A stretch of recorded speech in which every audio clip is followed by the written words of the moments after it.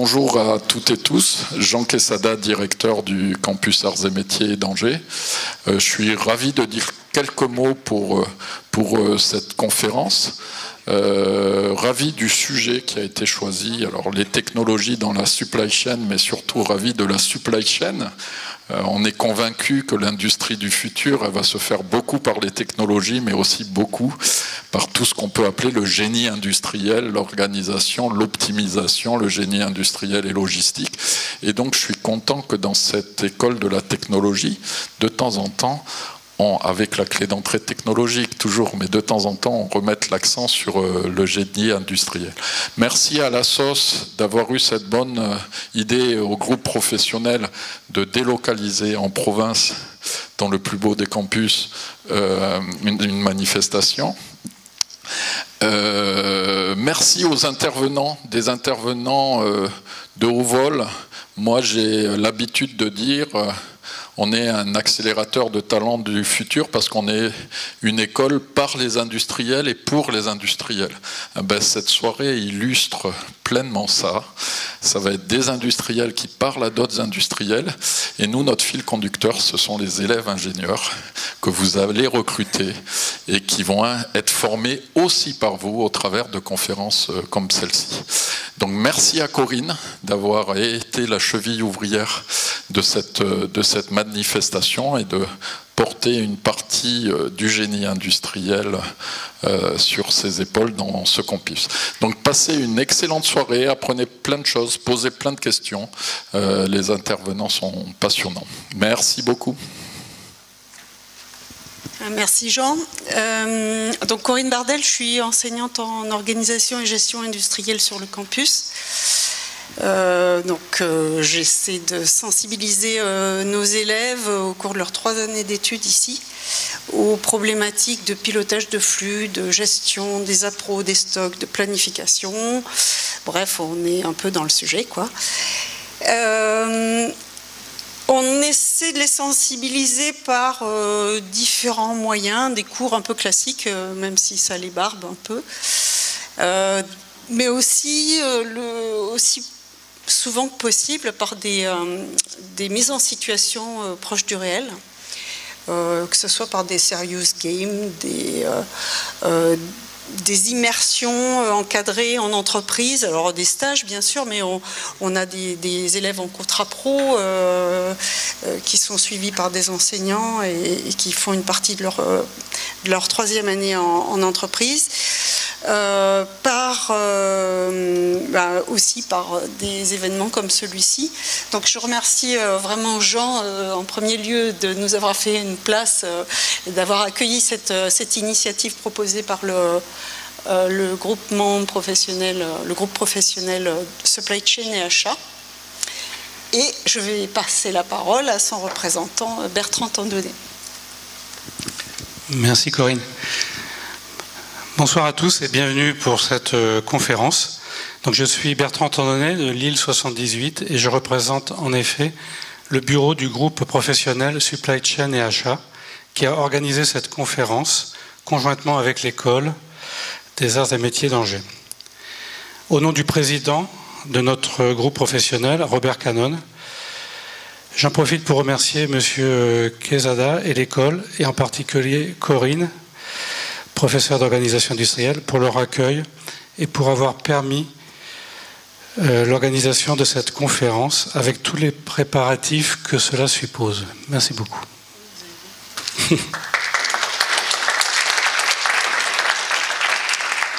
Je souhaite également remercier nos intervenants de haut vol. En premier, euh, Simon Richir de l'Institut Laval Virtual Arts et Métiers. Ensuite, Édouard Rousseau de la société d'AR, Jean-Baptiste Bernicot de la société IDEA Logistique et Thierry Saudreau de la société Microsoft. Quelques remarques pratiques. Euh, toutes nos conférences sont filmées, vous voyez, il y a monsieur qui filme euh, au fond. Et euh, de ce fait, nos conférences sont disponibles ensuite sur le site AMTV de la Société des ingénieurs et métiers. Euh, par ailleurs, les présentations de ce soir pourront vous être diffusées pour la partie non confidentielle, parce que parfois, et on peut comprendre, nos intervenants nous demandent de ne pas diffuser certaines parties. Il y a des parties non confidentielles qui sont diffusées aux participants qui ont laissé leur adresse euh, mail. Il n'est pas trop tard si vous voulez la rajouter sur le, bulletin à l'entrée. Voilà. Mais avant de, démarrer, je voudrais également vous partager quelques informations rapidement. Excusez-moi de prendre un petit peu de temps. sur le rôle des groupes professionnels et sur l'activité particulière de notre groupe professionnel. Alors, comme vous le voyez, les groupes professionnels au sein des arts et métiers ont pour euh, mission de favoriser les contacts entre les camarades, de diffuser une information technique et économique de haut niveau et de façon, euh, en même temps, euh, à mettre en valeur l'école des arts et métiers, sa formation et son rayonnement. Mais les groupes professionnels constituent également un observatoire, et c'est le cas pour nous dans notre branche professionnelle supply chain, donc d'être euh, à la, pointe de ce qui se passe, de pouvoir euh, continuer à échanger, à, propager les connaissances euh, entre nous. Et également, un point important pour les élèves qui sont dans la salle, d'aider les élèves futurs professionnels qui pourraient être intéressés par notre domaine, la supply chain, donc à rentrer dans ce type de profession. Et particularité, de, depuis deux ans à peu près, les groupements professionnels cherchent à se déployer en région, donc comme ce soir, de façon justement à pouvoir euh, permettre au-delà de Paris d'offrir euh, ce genre de conférences.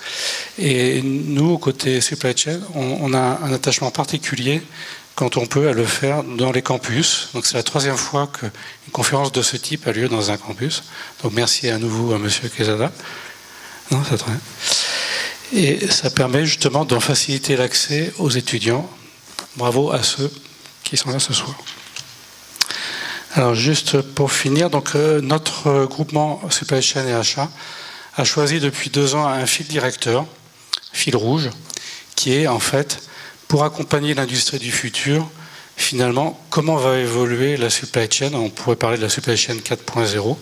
Vous avez vu, on a fait toute une série de, conférences là, depuis deux ans qui sont toutes orientées vers euh, cette réflexion, comment les choses bougent et de façon à, propager euh, l'évolution euh, du métier qui se prépare. Donc en particulier ce soir, évidemment, on s'inscrit bien dans la, dans la lignée. Et donc voilà, ça sera mon dernier slide, je vous rassure. voilà donc le, les conférences pour ce soir. On va commencer donc avec euh, Simon Richir qui va nous parler de réalité virtuelle et augmentée. Ensuite, euh, il pourra passer la parole à Édouard Rousseau qui nous donnera donc chez Daer des exemples d'applications en entreprise industrielle. Ensuite, Jean-Baptiste Banico nous donnera également des applications euh, pratiques, mais plus euh, société, vue de la société de service, pour ses clients bien sûr, mais vous allez voir, c'est très intéressant. Et on, finira le, cycle avec euh, Thierry Saudreau de Microsoft, qui va nous donner une perspective à moyen terme de la vision de Microsoft. Voilà. Et nous finirons par un débat. Il y aura une demi-heure de, de questions-réponses. Donc chaque intervenant a à peu près 20 minutes et on a une demi-heure de questions-réponses avant de se retrouver. Si vous voulez avoir des, contacts particuliers avec les intervenants ou les uns avec les autres, il y aura un cocktail donc, qui est prévu à 21h, c'est ça? On va suivre l'heure. Juste après. Voilà. Donc Simon? En 1999, apparaît dans un labo de Nouvelle-Zélande le premier logiciel pour faire de la réalité augmentée, avec un marqueur 2D. Cette application permet de visualiser euh, sur écran, avec 6 degrés de liberté, des, objets positionnés dans l'espace. Le 6 juin de la, même année, j'ai cofondé le premier Laval Virtual. Aujourd'hui, 20 ans plus tard, plus besoin de marqueurs, plus besoin de gros ordinateurs. 50 millions de personnes utilisent Pokémon Go et chassent les animaux virtuels avec leur smartphone partout à travers le monde. Aujourd'hui, les technologies immersives réalité virtuelle, réalité augmentée, nous permettent de donner réalité à vos rêves. Donc l'Institut euh, Arts et Métiers de Laval, au sein du Laval Virtual Center, forme vos salariés, vos futurs salariés, c'est-à-dire nos étudiants, à la maîtrise de ces technologies euh, immersives. Donc nos équipes euh, d'ingénieurs et de chercheurs mettent en œuvre la, puissance de, ces technologies pour vous permettre d'innover, de concevoir de nouveaux produits, de nouveaux process ou même de, nouveaux services.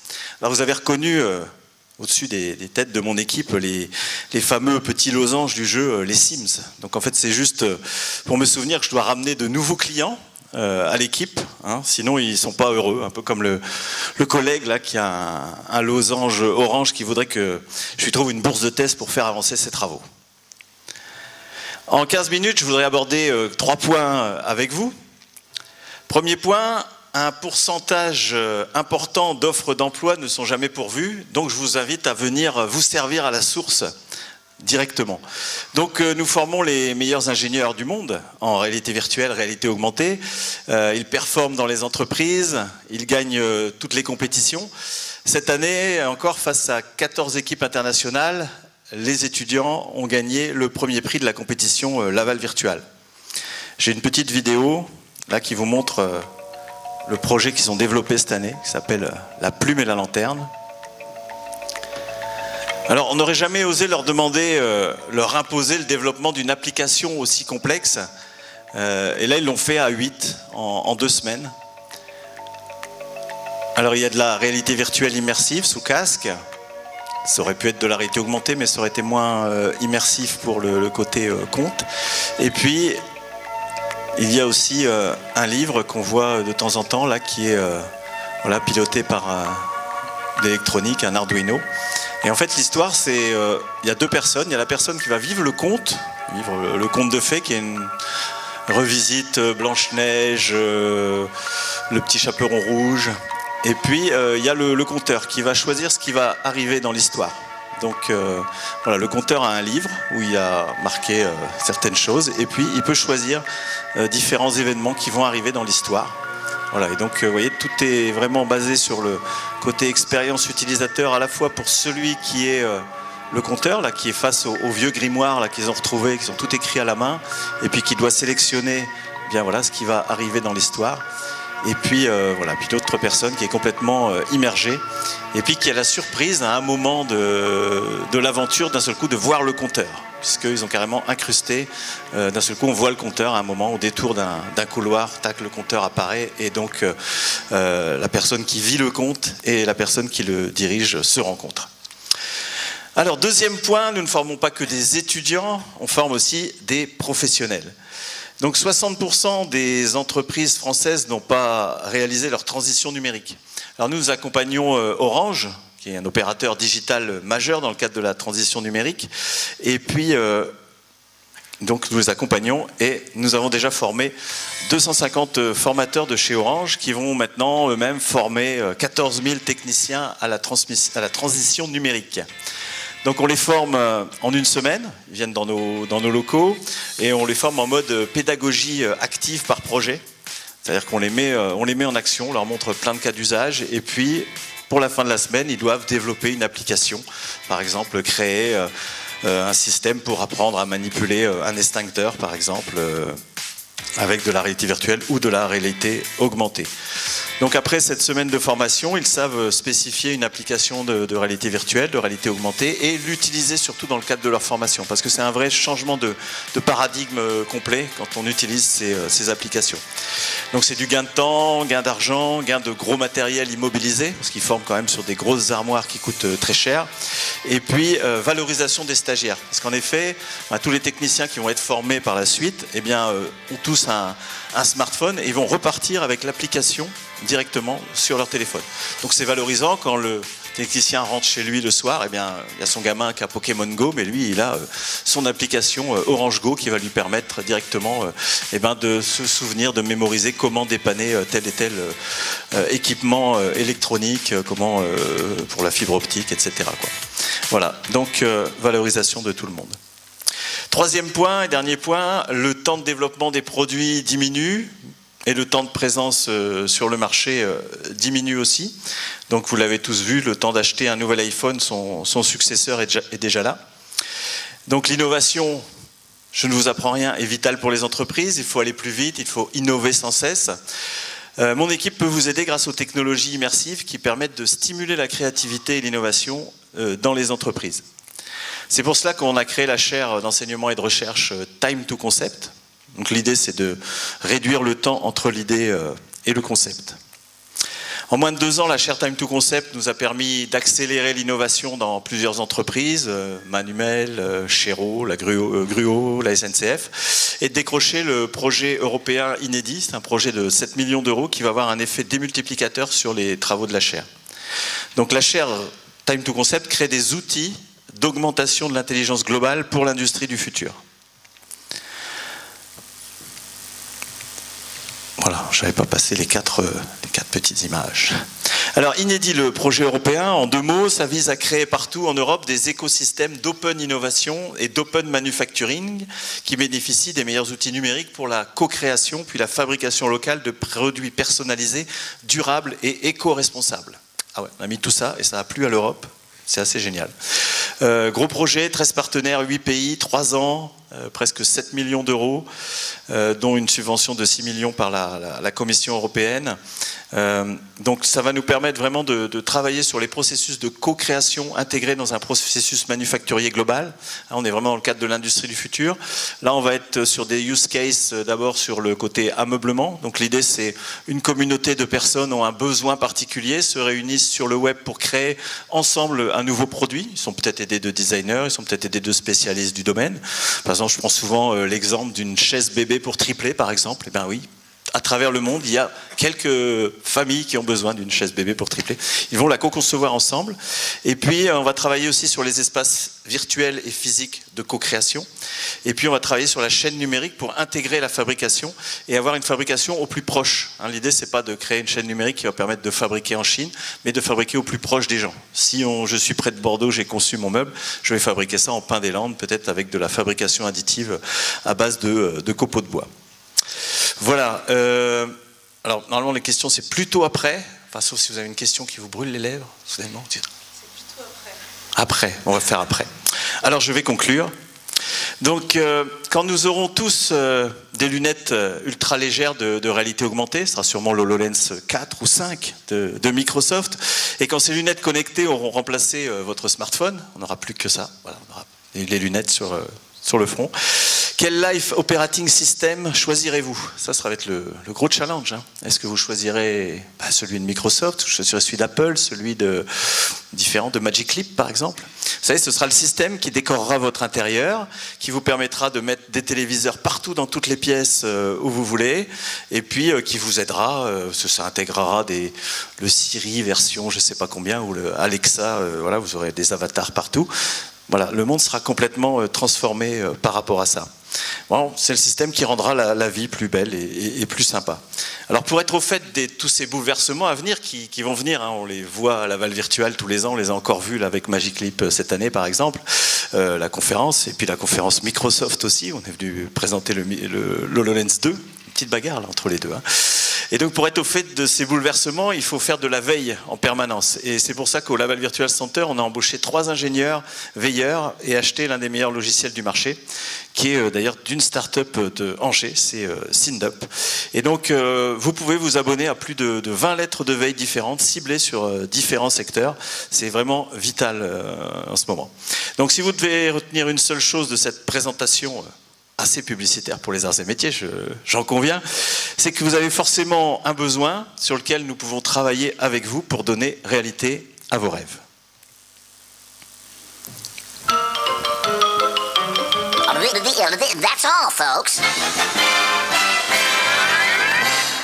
Et je vais maintenant passer la parole au conférencier suivant.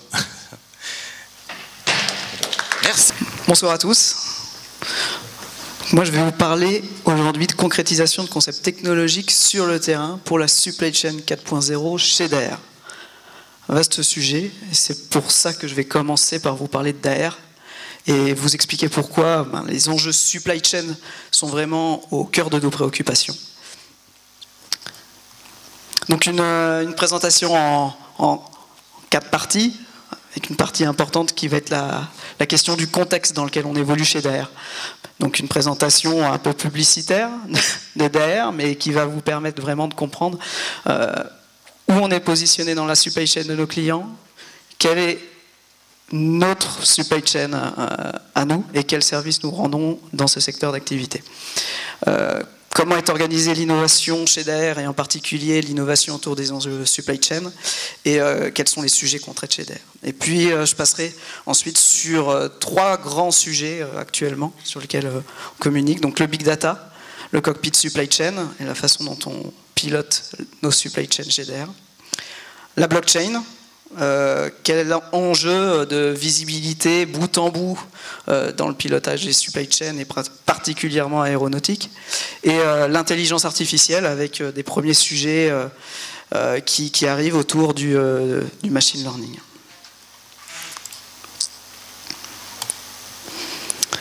Donc DAER, donc c'est un avionneur, un équipementier, industrie et services. C'est un, une société familiale qui existe depuis 1863.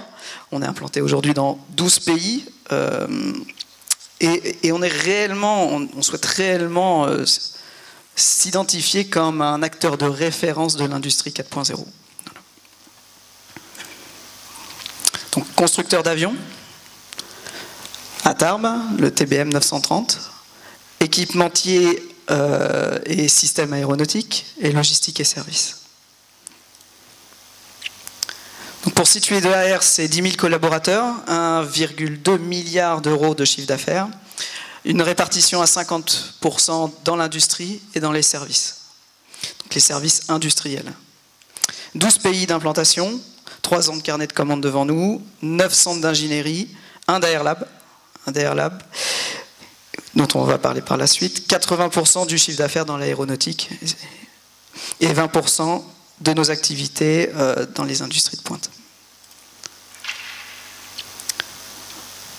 Donc, constructeur d'avions, turboprop euh, business aircraft, customer service, donc à la fois la fabrication de l'avion et l'ensemble des services associés jusqu'au consommateur final. Héritier de la mythique société Moran Saunier, euh, donc on est aussi le plus ancien avionneur au monde. On est un avionneur au service des avionneurs.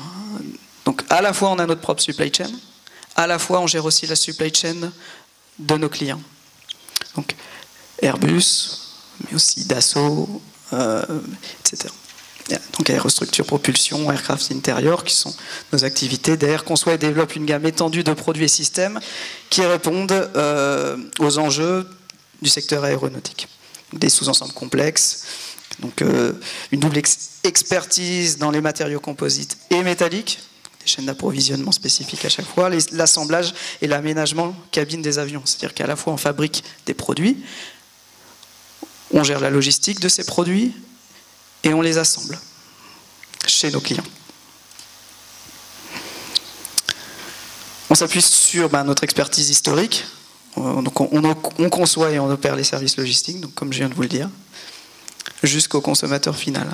Donc des activités logistiques, de manufacturing service, donc d'assemblage chez nos clients, supply chain service, pilotage de la supply chain pour nos clients, donc des services de projet, des services nucléaires et fabrication de valves. Donc une implantation worldwide euh, fortement implantée en, Europe et un développement euh, avec une forte croissance sur le territoire américain. C'est euh, réellement une, volonté actuelle de se rapprocher de nos clients en allant aux États-Unis. Donc l'innovation chez DAIR, eh bien, on, on va du court terme au long terme. Donc l'innovation est un de nos piliers stratégiques. On est un acteur majeur de l'industrie du futur. Et notre ambition, c'est de garder ce temps d'avance-là. Et comment on le fait Au travers de pockets de créativité court terme. Donc on a un DR Lab euh, qui teste en fait des solutions qui sont euh, disponibles sur le marché, qui va aller travailler avec des startups, avec des sociétés, pour essayer les solutions chez nous, chez nos clients, le plus rapidement possible, et les industrialiser le plus rapidement possible. Armstrong, qui est un programme d'innovation en Silicon Valley, moyen terme, euh, qui va nous permettre d'élargir nos horizons et puis euh, d'être euh, là où ça va vite, là où les technologies naissent et grandissent le plus vite, donc euh, en Silicon Valley, pour les importer chez nous. Et la recherche et technologie, donc le long terme, l'investissement à long terme, donc la direction dans laquelle je travaille pour le service 4.0. Et en quoi on travaille en, service 4.0 et pour la supply chain voilà. Donc à la fois tout ce qui va être modélisation, donc euh, modélisation à la fois des systèmes de production, euh, mais aussi des outils d'aide à la décision, que ce soit pour la production, mais aussi pour la logistique, la supply chain. Euh, donc tout ce qui va être simulation et, nouveaux modèles aussi simulés pour la logistique. Donc tout ce qui est ergonomie et sécurité, donc on va travailler sur la station de travail, euh, la sécurité des biens et des personnes, ainsi que tout ce qui va être outils de formation. le contrôle, et là on va parler beaucoup de, de contrôle sur, sur les exemples que je vais vous donner. Donc à la fois le monitoring, les systèmes d'analyse, les systèmes de prévision et d'ordonnancement. L'automatisation, axe fort on ne va pas parler aujourd'hui puisqu'on est là pour parler de digital. Je vais vous parler, euh, on pourra parler de tout ce qui est gestion des workflows, d'emballage automatisé, de contrôle automatisé, de chargement, d'inventaire. Euh, et tout ce qui est traçabilité, et là c'est très important pour la, pour la supply chain, donc euh, l'identification, la digitalisation et la blockchain. Je vais rentrer maintenant dans le concret.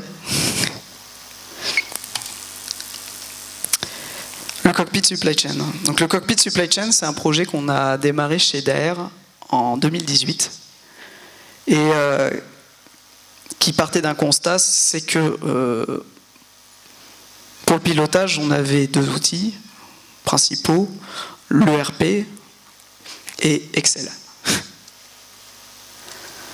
Et en fait, notre savoir-faire, nous, de, pilote supply chain, euh, il n'est pas dans le RP, il est dans le cerveau des gens, il est dans le Excel.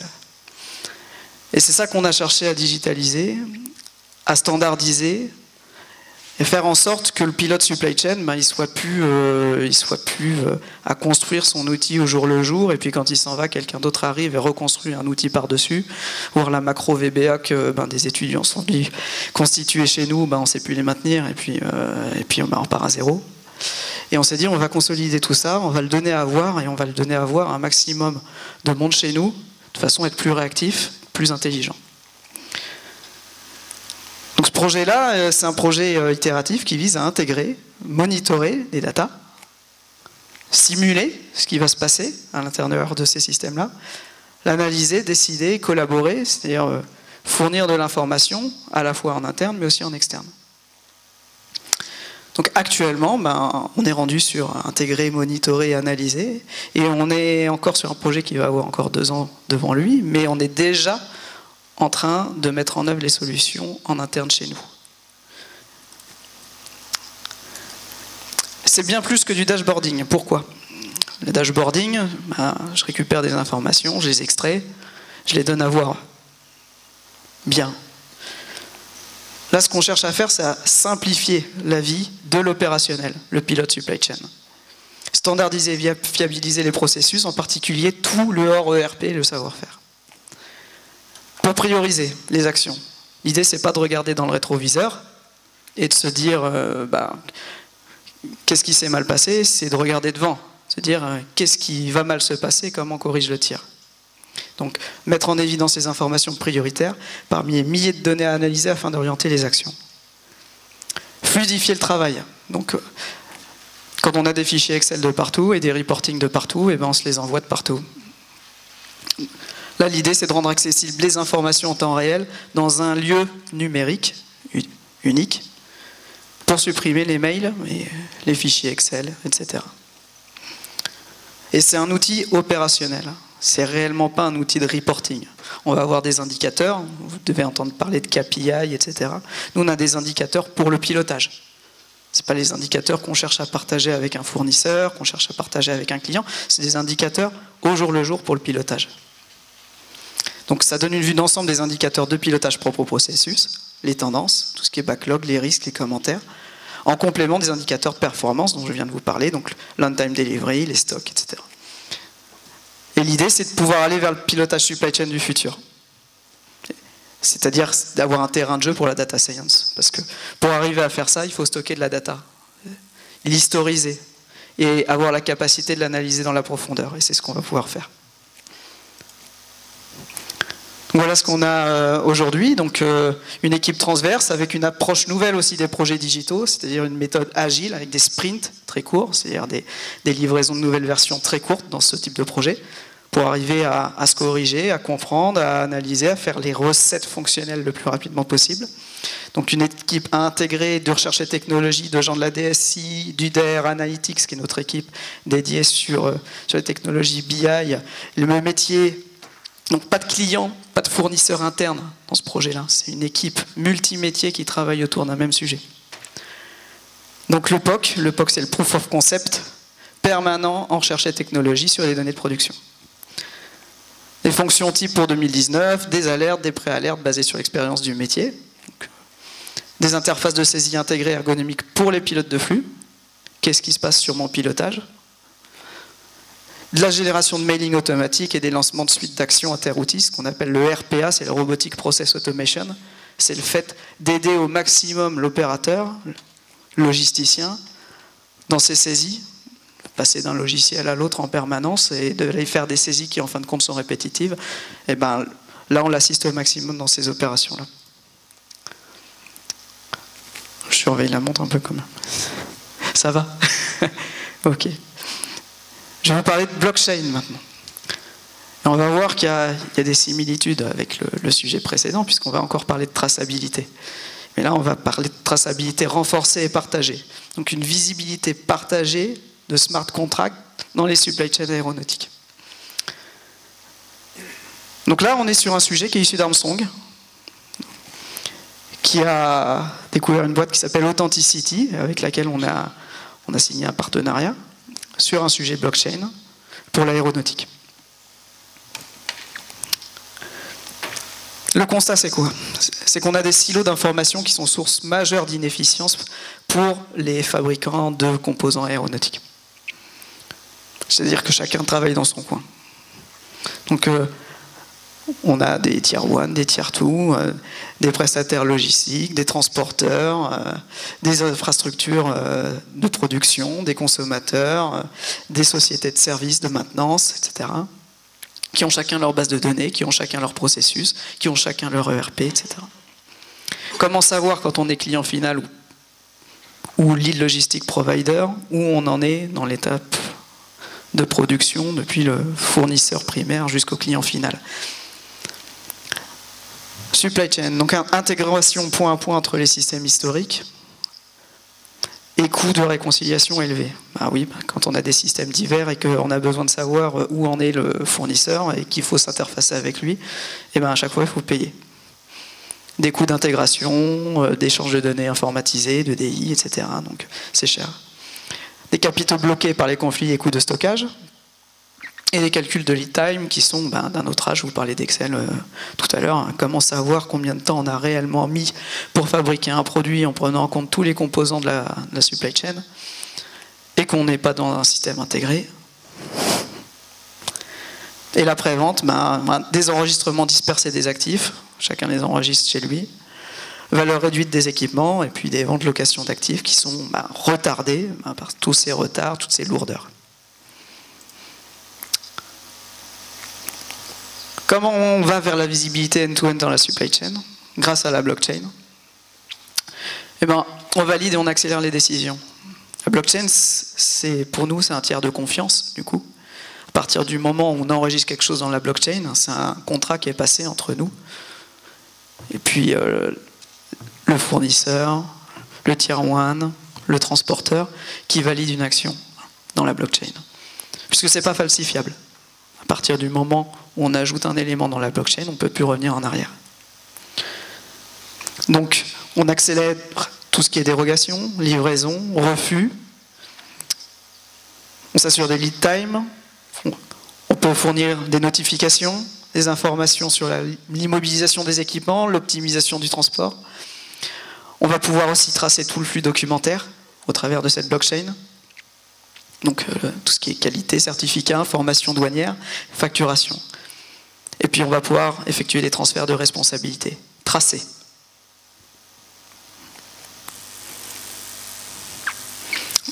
Les bénéfices, bah, une intégration complète, aucun coût de réconciliation, puisque chacun va avoir la responsabilité de se connecter à cette blockchain. Il y a des API. Un règlement simplifié des conflits. La data, elle est là, elle est partagée, elle est visible de tous. on ne peut pas la falsifier. Un cryptage en même temps, c'est-à-dire qu'à la fois l'information, elle est là, elle est disponible, mais en même temps, elle est disponible que pour ceux qui ont droit d'y accéder. Via les contrôles d'accès. Donc en termes d'architecture, ben, on a à la fois la couche applicative, l'interface utilisateur, l'administration réseau, qui va permettre à, chacun des acteurs de la, de la supply chain opérationnellement de se connecter à cette blockchain. La couche de sécurité, qui assure le chiffrement, comme je viens de vous le dire. Euh, API et connecteur, la couche middleware qui est extrêmement importante. Les API, c'est quoi? C'est ce qui permet de la communication entre les logiciels. Si vous avez une API, ça veut dire que quelqu'un se connecte à votre système, dialogue avec l'API pour demander les informations dont il a besoin, ou donner les informations qu'il a à donner. Sans avoir à développer euh, de l'EDI, sans avoir à développer des, couches logicielles complexes. il n'y a plus d'action de notre part. Et les connecteurs. Et un noyau blockchain, c'est ça qu'on est allé chercher chez Authenticity. Donc une, infrastructure blockchain, c'est-à-dire des des smart contracts.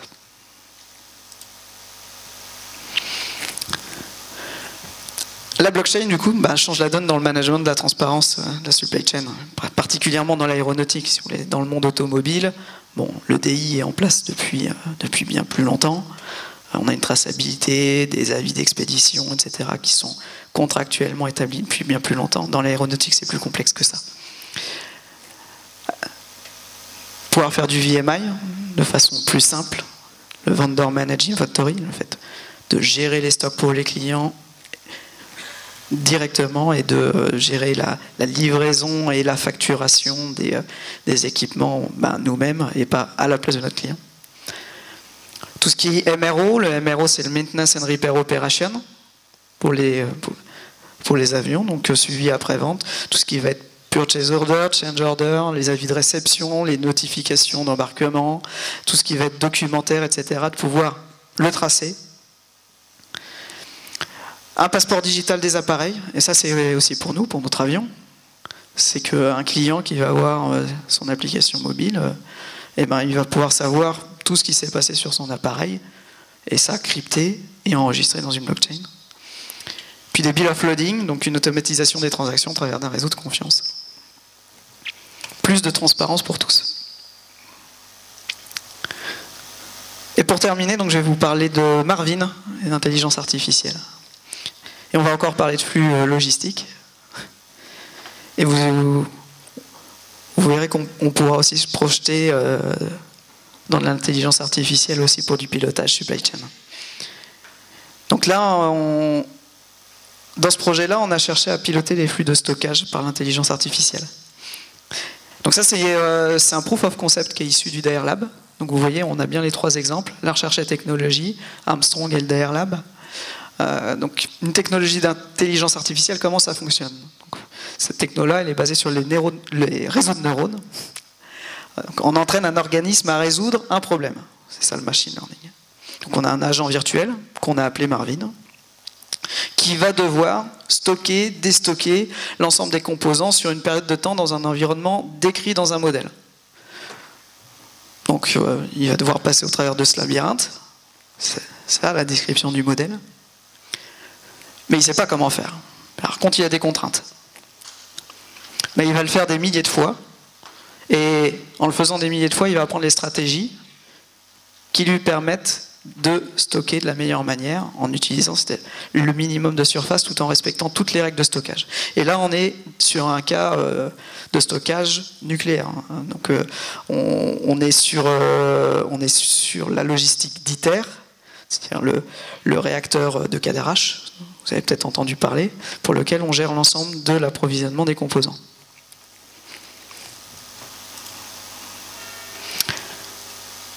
Termes d'intégration d'exploitation, ben, on utilise l'algorithme entraîné dans un outil de BI de pilotage de stock. On se retrouve encore avec du BI comme euh, pour le, le sujet cockpit supply chain. C'est-à-dire que notre algorithme, on l'a entraîné et maintenant il est intégré dans une solution qui fait de l'analytics. Donc au travers de ces systèmes analytics, on peut visualiser l'optimisation de stock proposée par Marvin.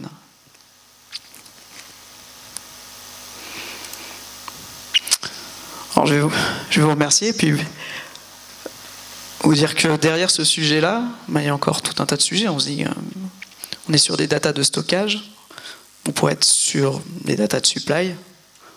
Où est stocké quoi? Quel fournisseur se comporte comment? Quel approvisionnement est géré de quelle façon Qui a le meilleur comportement en termes d'approvisionnement Potentiellement pas, pas le meilleur KPI, mais peut-être le meilleur comportement global. Et de chercher à apprendre de tout ça. Et potentiellement, c'est encore des sujets euh, pour le machine learning et pour l'intelligence artificielle dans la supply chain. Voilà, je vous remercie. Et je laisse la parole à Jean-Baptiste Bernicot. Merci Edouard.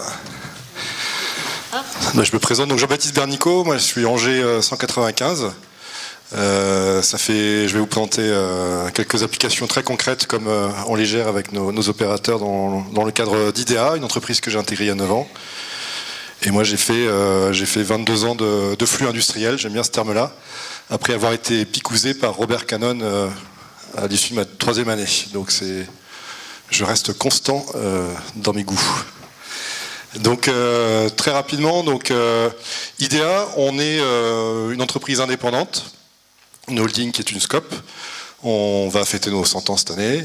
Et le cœur de métier, c'est qu'on va, on va être opérateur logistique, on va prendre en charge la logistique de gros industriels qui font des produits lourds, complexes, coûteux, nomenclature pas très stable. Donc c'est cette complexité-là qui fait qu'on on, vient appuyer ces, industries concentrées sur leurs enjeux de produits et de process, et ben nous on prend en charge tout leur flux. Donc nos métiers, ça va être euh, de la manutention logistique, ça va être du stockage, ça va être de la, caisserie emballage. quand il faut envoyer des, gros produits à l'autre bout du monde, il y, a, des vrais savoir-faire autour de ça.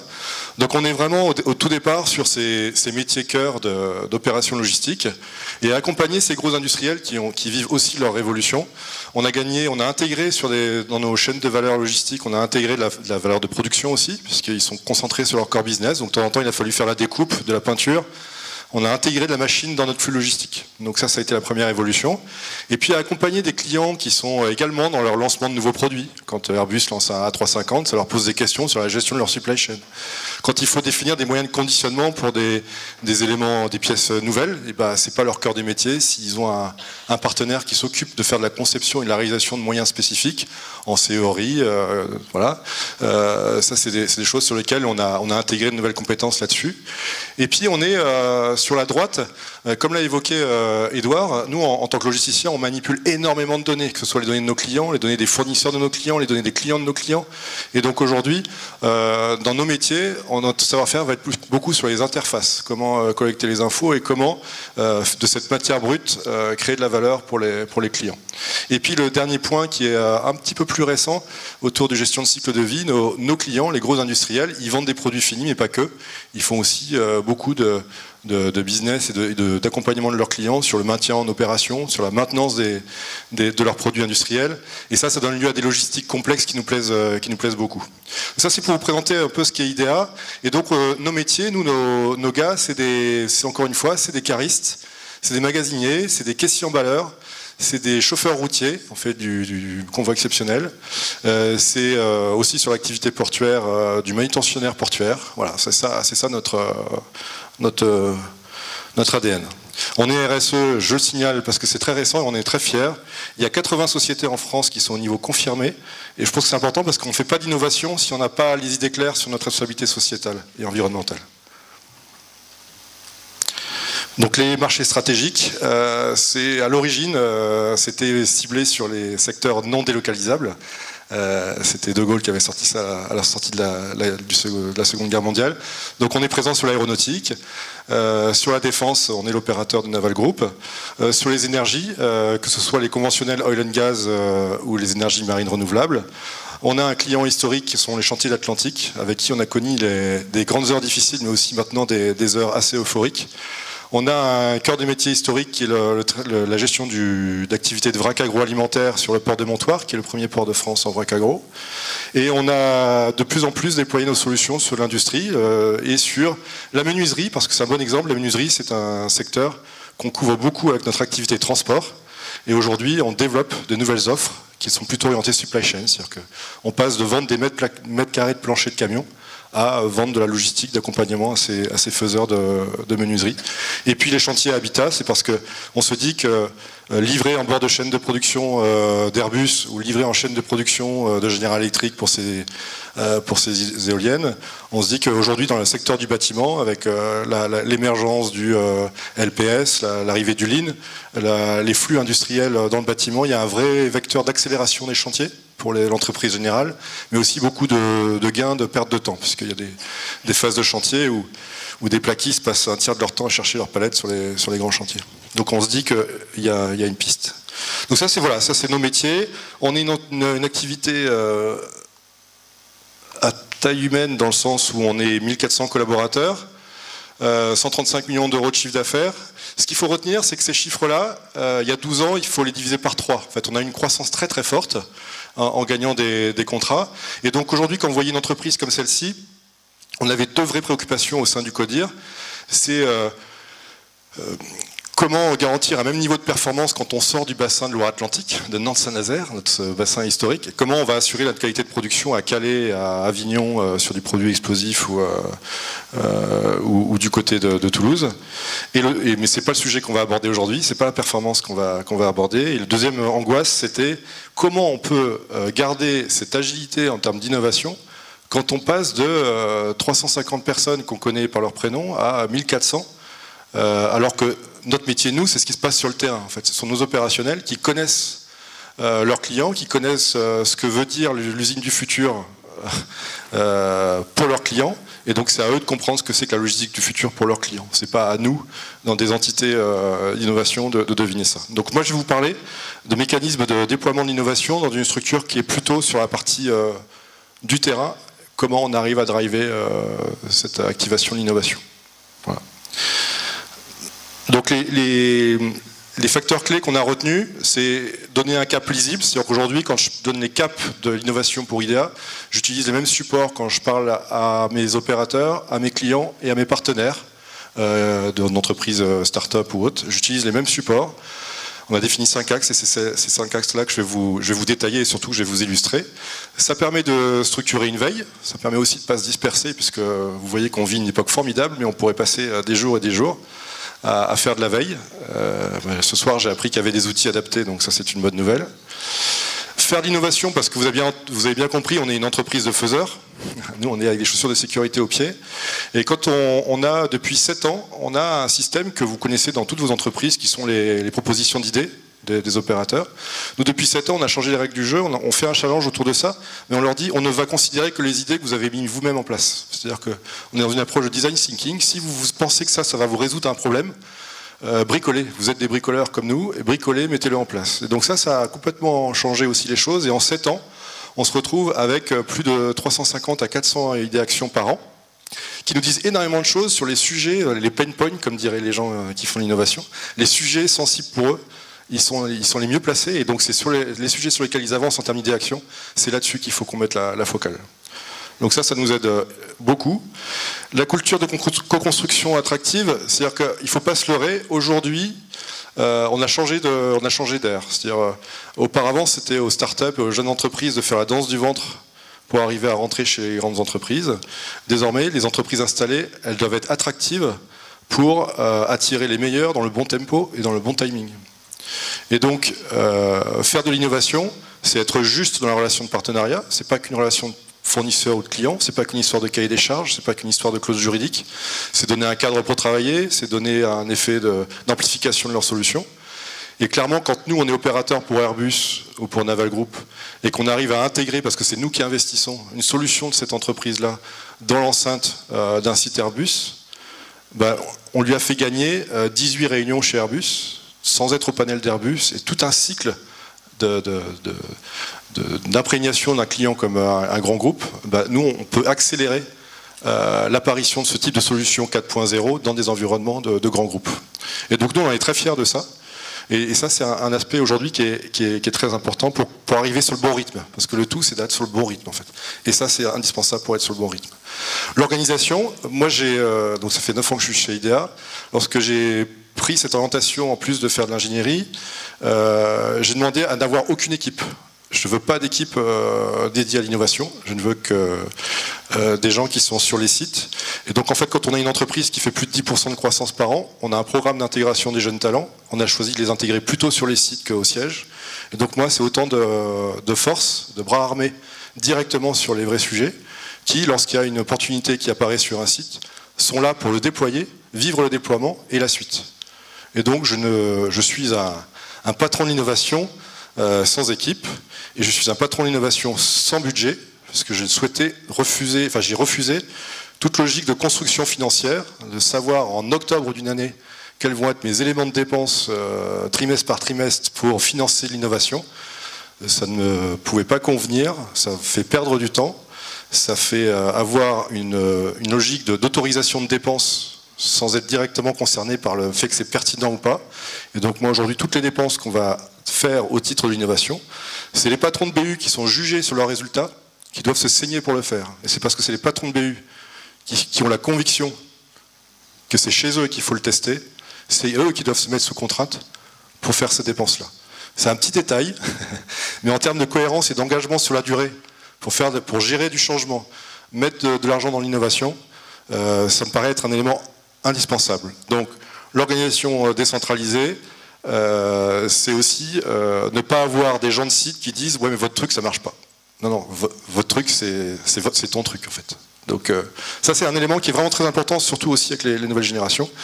Et l'ingénierie financière, il est clair qu'on, je ne vais pas vous parler de registre type R, recherche et techno. On n'est pas sur des temps dans la gestion de contrat avec nos clients. Euh, aujourd'hui, on n'a pas la taille ni l'horizon pour développer des grands programmes de, de, RT. Il est vraisemblable qu'on passe à côté de sources de financement. Peut-être qu'on se pose la question qu'il faut être plus à l'affût, avoir une meilleure visibilité de ce qui se passe sur des systèmes de financement, mais il y a un vrai enjeu sur le financement de l'innovation. Et aujourd'hui, clairement, nous, IDEA, on n'est pas très très bon encore. Il est vraisemblable qu'on aurait pu euh, trouver des fonds pour financer plus rapidement l'innovation. Donc ça, il faut qu'on avance. Mais euh, c'est un point de faiblesse. Donc le support, c'est la frise du haut qui est importante. On dit globalement, par rapport à, nos métiers que je vous ai présentés tout à l'heure, on dit globalement, bah, euh, nous, ce qui nous intéresse dans notre chaîne de valeur logistique, pour nos clients, c'est euh, de pouvoir intégrer sur nos plateformes logistiques des moyens de fabrication ou de découpe laser. Donc il faut qu'on ait un suivi d'innovation sur tout ce qui va nous permettre d'apporter de la valeur à nos clients là-dessus. On va avoir un axe qui va toucher à tout ce qui est automatisation et robotisation on a euh, dans nos métiers logistiques des, parties qui sont à très faible valeur ajoutée, des déplacements sur des grandes distances. On est sur des grands chantiers de l'Atlantique, on est sur des, grands sites industriels. On sait qu'il y a des activités qui sont à faible valeur ajoutée et qui seraient plus intéressantes de confier à, des moyens autonomes. Et il y a aussi, euh, on manipule les tronçons d'avion, on manipule quand même des, choses qui valent un peu d'argent. il y a aussi des phases à risque qui seraient mieux gérées euh, par des moyens autonomes que par l'homme. Euh, c'est un des arguments de vente quand vous achetez votre euh, Peugeot 208 avec un parc assist. Donc il y a l'automatisation au, service de la sécurité des opérations est un point important. Le data management, euh, on l'a évoqué, et nous, d'un point de vue très très simple, c'est tous nos opérateurs ont des smartphones, et aujourd'hui, il y a de l'intelligence dans cette main-là qui doivent leur permettre de mieux aborder leur métier et d'être plus en confort dans leur, façon d'aborder leur, métier. On est sur des polyvalences sur une même journée dans nos petites activités, qui nécessite quand même d'avoir, ça, colle une vraie pression mentale à nos gars, on pense qu'on a quelque chose à faire, et, et, en effet miroir, on a également des données en temps réel à donner à nos clients, euh, opérationnels aussi, euh, sur les urgences, sur l'état d'avancement des situations. On a, on, a, on a de la puissance dans la main de, ces gens-là qu'il faut exploiter. Réalité virtuelle, réalité augmentée, de manière plus générale aussi, simulation. Euh, je vais vous donner des exemples juste après. Et les objets connectés, on est vraiment sur l'effet du second souffle qu'on connaît, sur la capacité des objets moyens à dire des choses et à exprimer des choses. On est sur des métiers de manutention, avec, euh, et, donc on manipule beaucoup d'objets, on utilise beaucoup d'engins spécifiques qui valent un peu d'argent. Et donc aujourd'hui, on sait qu'on doit trouver un moyen pour écouter ce qu'ils nous disent, pour pouvoir réagir, anticiper. Donc ces axes-là, c'est comme ça qu'on les partage avec des startups, avec des clients, pour leur demander eux sur quoi ils veulent avancer, et avec nos opérateurs, qui sur les sites disent, bah, nous, euh, euh, nous, on a eu telle et telle idée d'action, on pense qu'on veut avancer sur tel axe. Donc ça, c'est tout bête, hein, mais ça, c'est quelque chose qui est important. En dessous, je vais passer très rapidement parce que ce n'est pas le sujet, mais c'est de dire que l'innovation, elle doit aussi être en lien avec la stratégie de la boîte. Et moi, par exemple, je m'occupe de l'innovation, mais je ne peux pas faire que de l'innovation. Je suis aussi engagé dans la pulsation de ce qui fait la vie de l'entreprise. Et donc développer des nouvelles offres autour du manufacturing qu'on apporte à nos clients, autour de tout ce qui est la business intelligence, qui est une vraie valeur, comme l'a présenté Edouard. Euh, on a de la valeur à vendre à nos clients, la reverse logistique et l'économie euh, circulaire en général. L'Open Lab, c'est le fait de dire quand on est à 350 à 400 idées actions produites par jour et qu'on s'aperçoit qu'il y en a un certain nombre qui sont faites entre l'opérateur Naval Group et l'opérateur IDEA, on se dit qu'il y a de l'intelligence collective. Et donc si on donnait un environnement, un cadre à cette intelligence collective, ça créerait de la valeur. C'est quelque chose qui pourrait être euh, développé. Mais ça fait écho avec euh, ce que Simon évoquait sur l'open innovation. Et après, les quatre, c'est des secteurs d'activité pour lequel on pense que les muscles qu'on utilise pour faire du bon boulot pour Airbus, Naval Group, les chantiers Atlantique et General Electric, c'est des muscles qui feraient du bien à ces secteurs-là. Notamment si je prends le cas des maintenances, il y a des métiers en tension, c'est très très dur de trouver un bon responsable de maintenance. Or aujourd'hui, notre conviction, c'est que ces gens-là passent beaucoup de temps dans leur petite voiture, euh, ou chez Point P ou autre, pour en plus euh, se chercher euh, leurs affaires pour leur, chantier. On pense qu'on a, des offres à apporter à ces secteurs-là pour qu'ils passent plus de temps sur leur chantier avec leurs gars plutôt que d'aller faire leur propre logistique. Donc il y a des choses qui bougent très vite en termes d'accompagnement logistique et ça c'est passionnant. Les deux slides d'illustration, j'ai pris volontairement des exemples hyper triviaux. C'est parce que je pense aussi qu'il faut, il faut désacraliser un peu le côté usine du futur. Euh, euh, nos gars peuvent aborder que, les différentes composantes d'usine du futur par des réalisations hyper concrètes, hyper simples, et vous allez voir, la plupart des cas, on n'a pas eu besoin de leur demander. On s'occupe de, la, peinture des moteurs Man Diesel. Donc c'est des moteurs de 360 tonnes. Deux heures et demie de, protection des pièces qu'il ne faut pas peindre. Deux heures et demie de protection, les gars, ils ont contacté eux-mêmes, je suis vraiment pour rien, et ils ont fait des caches en impression 3D avec euh, la petite boutique du coin. Et donc on est passé de deux heures et demie à 13 minutes pour euh, masquer l'ensemble des pièces qu'il fallait pas peindre avant d'engager la peinture euh, du moteur. Tout ce qui est la partie robotisation, on a été les premiers à, déployer sur un acteur industriel une solution qu'on appelle Goods to Men. On a pris le cas d'Airbus. On s'est dit, bah, aujourd'hui, il y a des nomenclatures qui sont très grandes, beaucoup de pièces, beaucoup de références, mais pas des volumes comme l'automobile. Donc, en fait, pour aller prendre une pièce, il y a un, poids de déplacement qui est très très grand.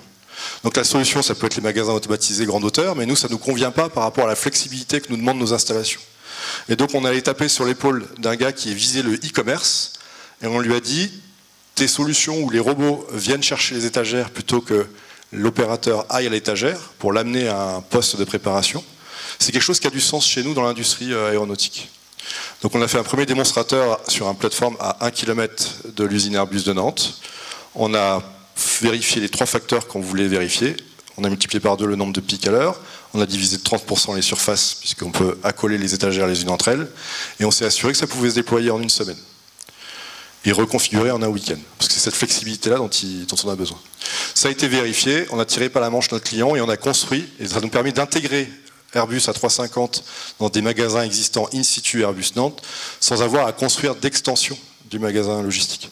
Donc ce qu'on appelle un cost avoidance, donc éviter aux clients de dépenser, par l'effet de concentration de surface. Et nous, le gain de productivité fait qu'on a pu investir pour lui. Donc du coup, là, on a investi pour le compte d'Airbus, c'est nous qui opérons, c'est nous qui faisons la productivité.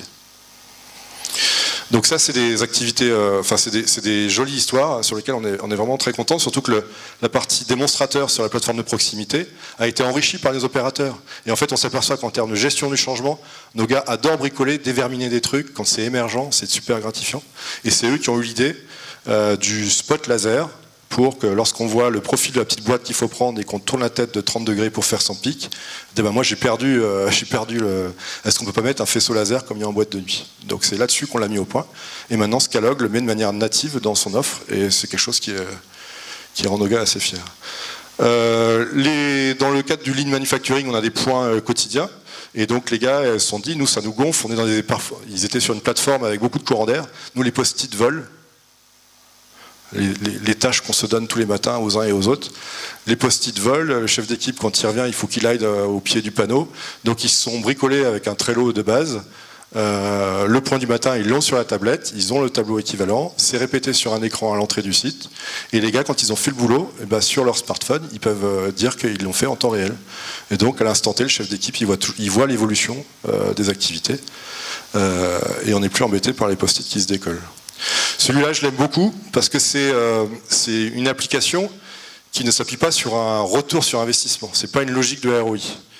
Mais vous avez sur des sites euh, assez grands de stockage, euh, là c'est à Trignac, près de Saint-Nazaire, comme on gère des pièces pour la défense, on doit régulièrement rassurer l'administration douanière sur le fait que notre clôture est, au bon niveau d'intégrité. Il ne peut pas y avoir de pénétration sauvage sur notre site. Donc c'est tous les mois aller faire un tour, prendre des photos, faire un rapport et envoyer ça à l'administration douanière. Comme on faisait déjà des contrôles de conformité des moteurs avec des drones, les gars ont dit bah, nous on voudrait avoir les drones où on peut avoir des points d'arrêt euh, préprogrammés. On veut, pendant qu'il fait ce trajet-là, euh, prendre du time-lapse, c'est-à-dire prendre des photos euh, d'une fréquence donnée.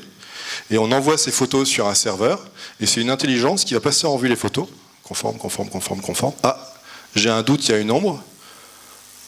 Ça envoie un mail et donc notre opérateur dit bah ça euh, c'est une plante qui, est poussée à travers le grillage, ça c'est une ombre, c'est ok, euh, laisse tomber. Ou euh, oui en effet c'est.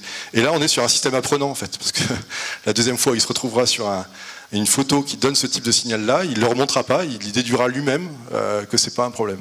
Donc c'est très basique, c'est très trivial. On n'a pas gagné, gagné grand-chose puisque un drone aujourd'hui, il doit toujours avoir en termes de réglementation un pilote à vue. Donc on n'a fait aucune productivité. Mais ça permet de voir avec une start-up locale, euh, de, voir comment ça fonctionne, qu'est-ce qui peut être automatisé, et, on, se frotte. En fait, je pense que l'industrie du futur, il faut se frotter à ça. Et je pense que c'est plus rapide de se frotter euh, sans se focaliser sur le ROI. Ça, ça nous a coûté 300 euh, euros. En fait, c'est pas, pas quelque chose de, fou. Mais c'était important pour nous d'avancer là-dessus tout ce qui est réalité virtuelle et réalité augmentée. Donc sur la réalité virtuelle, nous on est plutôt sur le, la partie sur le site Airbus de Saint-Nazaire. On fait tous les mouvements de gros tronçons d'avion. Et on a 100 personnes, 100 opérateurs de manutention, et on n'est que sur des opérations piégeuses, à risque. C'est-à-dire qu'avec euh, A380, ça va se passer comme ça, avec A400M différemment, c'est que des trucs à risque. Et donc on est à un niveau où on se dit, si le pilote d'avion il a le droit de faire 1000 euh, atterrissages en virtuel avant d'en faire un en vrai, nos gars ils ont le droit de pouvoir s'entraîner et puis de voir comment ils réagissent à des scénarios de test, de stress. Donc on a, euh, bah, avec Clarté, les voisins de Laval, on a mis au point un, environnement où nos opérateurs peuvent simuler les opérations de manutention euh, et là, on est à l'étape 2 où on va introduire les scénarios de test. Ça nous prend un peu plus de temps que prévu. Mais en tout cas, les gars peuvent passer euh, en immersion euh, là-dessus. La sécurité des installations, là aussi, ça c'est une histoire que j'aime bien. C'est on est opérateur sur le port. Vous savez que des silos de, blé de temps en temps, ça peut exploser. Et donc on est dans une zone Céveso, il y a du gaz pas loin. Et donc on a une obligation d'aller vérifier. Le principal risque, c'est l'incendie parce qu'il y a du bourrage de blé sur la partie haute.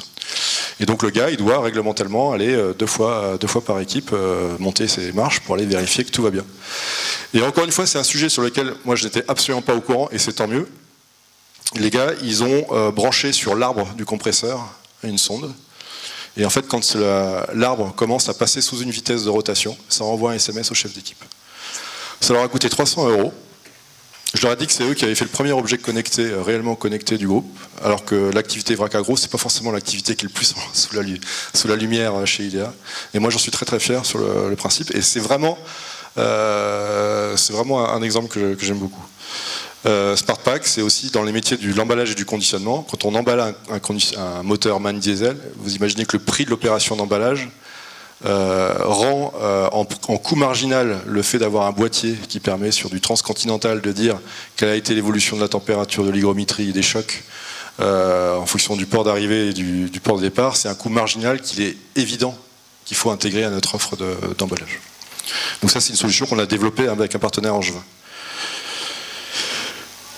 Donc ça, c'est vraiment, euh, sur cette partie-là, c'est vraiment ce qui, c'est voilà, cette matière brute des idées d'actions qui émergent par nos gars qui veulent euh, faire de mieux en mieux leur boulot et surtout pas être embêtés par des choses qui les, qui, les pénalisent. Euh, du coup, ça nous inspire. Donc, avec un, client en région parisienne, eux, ils, ont une fonction achat qui est omnibulée par l'achat extra low cost, hyper loin. C'est des cadences qui sont assez faibles, c'est des produits hyper spécifiques. Et donc on travaille avec eux à faire le comparatif entre acheter des faibles quantités à l'autre bout du monde, transporter en camion, stocker, attendre l'éventuelle consommation et livrer, comparer cette chaîne de coûts-là avec notre capacité à redesigner la pièce pour pouvoir l'imprimer en impression 3D à la demande, sachant que notre plateforme est à 800 mètres de leur site. Donc je ne peux pas préjuger du résultat, mais c'est intéressant de suivre la maturité des prix économiques, des modèles économiques, pour dire bah, mieux comprendre en faisant, que ça va nous coûter de l'argent de faire ça, mais de mieux comprendre où en, sont les modèles économiques qui vont émerger de ça. Donc euh, euh, là aussi, on n'est pas focalisé sur le ROI, il faut qu'on soit bien en maîtrise de ces sujets-là, parce que c'est un sujet important. Les engins autonomes, donc l'étape suivante, c'est euh, tout ce qui est indoor, outdoor. Donc là, on, va, on est dans une démarche de design to cost, c'est-à-dire qu'on a, a un partenaire sur lequel on lui a dit, par rapport à un marché identifié, quel était le prix euh, du moyen par rapport à un service le plus standard universel qu'on peut être amené à utiliser. Et on dit, bah, ton truc, il est super cher aujourd'hui, qu'est-ce qu'on peut faire pour arriver à l'amener à un prix marché? Là, c'est encore une autre approche. Euh, mais donc on va, on va développer une solution là-dessus. Et puis on est sur, en indoor sur les robots suiveurs, où l'idée c'est de libérer les mains, mais on veut demain y associer des moyens qui soulagent les ports de charge. On, casse beaucoup nos gars avec du, port de charge, et donc on voudrait avoir des choses qui suivent Robert et Gérard et qui puissent permettre d'aider à, la manutention. Donc ça, c'est des choses qui vont, qui vont évoluer cette année. Celle-là, je passe. Celle-là, c'est celle-là qui t'intéresse. On s'aperçoit que la production des, données, que ce soit euh, au niveau de toutes les activités, des personnes, des entreprises, des organisations, des véhicules connectés.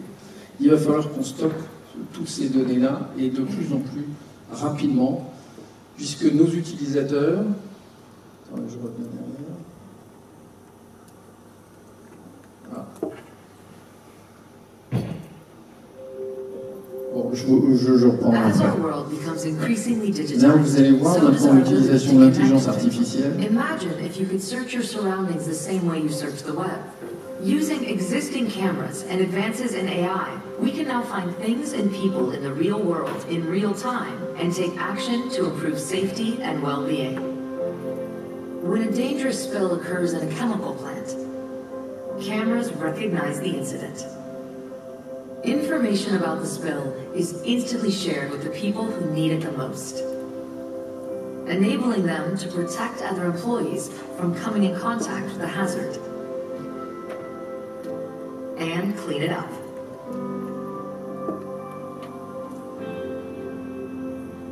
This technology can also help keep people safer in hospitals. Patients recovering from heart surgery are limited to how much they should exert themselves. When someone exceeds the prescribed level of activity, a nurse is alerted. What's more, the location of the closest wheelchair is identified, so that the nurse can quickly get the patient seated and safe. This technology is also useful in an environment like a construction site, where people who need specialized tools are spread out, sometimes across multiple floors. Using cameras already in place, this technology can identify a specific tool, as well as the closest authorized person who can deliver it, saving everyone time and keeping the workflow moving. The digital and physical worlds are coming together to help make everyone more safe, secure, and productive. And we're bringing the edge of Microsoft's cloud to any device. Donc là, vous voyez, la technologie arrive de plus en plus dans les entreprises.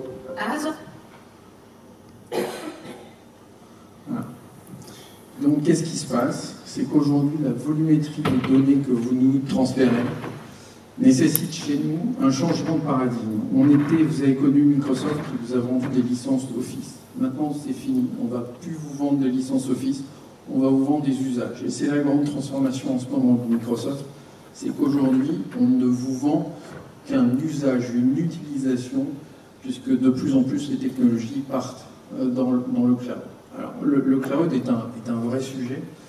Et le sujet pour nous, c'est ce qu'on appelle un, sujet, une, une, une, intelligence qui est sans couture. Vous allez le voir de Azure, Azure Stack, IoT Edge et Azure Sphere. C'est-à-dire que l'objectif pour nous, c'est que la donnée, une fois que vous l'avez transmise, qu'elle est chez nous, eh bien, on est capable de vous la conserver en fonction des technologies euh, que vous allez employer, en évitant de faire de la réécriture, en évitant de faire des transformations, de telle manière à ce que, que ce soit du cloud, que ce soit de l'Azure Stack ou euh, sur les composants euh, en bordure, eh bien en fait on utilise la même technologie. Et vraiment ça depuis l'arrivée de Satya Nadella, ce sujet devient pour nous fondamental, c'est-à-dire d'être capable de vous fournir cette technologie au plus proche de vos besoins sans être obligé de réécrire. Alors, vous, avez vu tout ce qui est avec euh, les, les, présentations précédentes, l'intelligence artificielle qui arrive de plus en plus euh, dans, les, dans les usines. Azure, je pense que vous connaissez, c'est le cloud de Microsoft. Azure Stack, c'est un Azure privatif, entre guillemets, c'est-à-dire qu'en fait, ça vous permet de travailler dans un environnement euh, plus maîtrisé. Vous êtes sans ignorer euh, l'arrivée en, juillet 2018 du Cloud Act, qui fait qu'associé à une, euh, une, position des États-Unis, qui fait qu'une entreprise, à partir du moment où elle met l'ensemble de ces données dans un cloud, l'État américain est susceptible de pouvoir les, euh, les consulter. Donc ce sujet-là est un vrai sujet de complexité sur lequel on est obligé de, gérer. C'est pour ça qu'on a fabriqué cet Azure Stack, qui est une sorte de cloud privatif qui permet à chacun de pouvoir euh, travailler dans son environnement. IoT Edge et Azure Sphere, eh bien en fait, on va au plus proche de la donnée pour ce qui est l'Azure Sphere, on, va mettre un système de codification fait qu'en fait votre donnée est cryptée dès la ré récupération de la donnée. C'est-à-dire une caméra, on va y mettre un chip qui permet euh, à la donnée d'être tout de suite cryptée et ainsi, par ce biais-là, de pouvoir la conserver dans un environnement de sécurité. IoT Edge, c'est une, sorte de euh, site intermédiaire, c'est un petit Azure Stack mais avec moins d'intelligence, qui permet euh, de pouvoir maîtriser son, information. Alors Microsoft, comme je vous le disais, eh bien, voilà,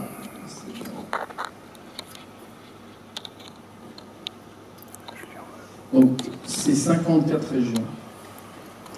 C'est-à-dire qu'on a euh, 54 zones qui représentent à peu près euh, 200 data centers. En France, nous en avons euh, 4. Deux dans la zone nord et deux dans la zone sud. Cette euh, décision a été faite euh, et mise en place suite au, Cloud Act, c'est-à-dire la géolocalisation de la donnée. Donc on, on a mis en place ces, ces deux clouds. Alors, Pourquoi tous ces changements? En fait, aujourd'hui, Microsoft a l'ambition de changer le monde, change the world, c'est-à-dire vous apporter toutes les technologies qui vont permettre, dans le respect de la sécurité, dans euh, le contrôle des informations et de la, de, la, de, de, euh, de, votre euh, comment je vais pouvoir dire, tout ce qui est privatisation, la propriété de la donnée, la transparence. Microsoft n'a aucune volonté de vouloir conserver et la donnée n'intéresse que vous. Et nous ne nous intéresse pas. C'est-à-dire que ce n'est pas une valeur sur laquelle nous allons fonder un modèle économique. Nous, notre modèle économique, c'est à l'usage du cloud. C'est-à-dire plus vous allez utiliser le compute, le compute de Microsoft, plus c'est notre modèle économique. Nous n'utilisons pas les données et nous ne voulons pas les utiliser. Ce n'est pas notre modèle économique. D'autres s'en chargent, pas nous. Ensuite, combien nous essayons de respecter, enfin nous respectons euh, les RGPD et l'ensemble des exigences euh, de sécurité de- et de privé et, euh.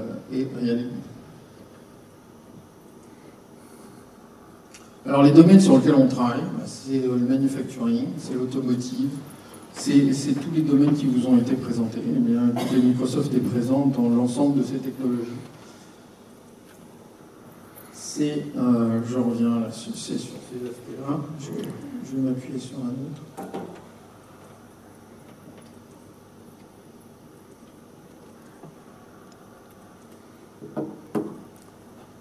Voilà. Donc aujourd'hui, la réalité, la réalité, la mixed réalité. C'est notre euh, produit qui s'appelle HoloLens. On l'a ouvert il y, a, il y a deux ans. On va arriver maintenant avec le HoloLens V2. Où est-ce qu'on en est dans le cercle de développement de, de ces projets? On a fait énormément de POC. On a fait beaucoup d'effets waouh. On a fait beaucoup de belles choses. Aujourd'hui, on est dans la phase d'industrialisation. C'est-à-dire que maintenant, nous allons passer du mode POC au mode industrialisation. On commence tout juste à buter sur la vraie réalité de ces projets, qui fait qu'une fois que euh, vous, on s'est intéressé à un petit modèle numérique, eh bien, quand il faut le, mettre dans une phase d'industrialisation, on s'aperçoit que c'est beaucoup plus compliqué que ce qu'on avait imaginé. Donc aujourd'hui, on va mettre en place des partenariats avec des industriels pour pouvoir déployer ces outils pour passer du mode, du mode POC en mode industrialisation. Donc le, sujet, est, euh, ça c'est un, une, une, vraie complexité. Euh, à ceci près qu'à partir du moment où on va commencer en, à travailler en réalité augmentée, vous allez être, vous, obligé d'avoir des modèles numériques qui devront être parfaits. On commence à avoir des industriels qui, on a parlé de Naval Group, ils font du carlingage, c'est-à-dire euh, vérification de configuration appliquée et euh, vérification de configuration applicable ça commence à, arriver dans les usines. C'est-à-dire que les, industriels ont commencé à évoquer les notions de ROI, mais apparaissent d'autres sujets qui fait qu'un HoloLens est un scanner, un appareil photo, une caméra. Et donc dans certains sites, là c'est tout juste impossible de rentrer ces technologies. Donc il va falloir aussi revoir toute la partie sécuritaire pour pouvoir euh, utiliser ces outils. Donc ça c'est aussi un vrai sujet. Mais à côté de ça, j'ai entendu le terme d'innovation, et les, gros industriels veulent de l'innovation, c'est-à-dire intégration du cycle court dans le cycle long. Comment on fait quand on fait un porte-avions Charles de Gaulle Être capable, entre la phase de conception et la phase de réalisation, qui représente à peu près une dizaine d'années, comment on fait que cette technologie innovante soit intégrée dans un programme d'armement notifié? Et c'est un vrai débat, c'est une vraie complexité ça aussi.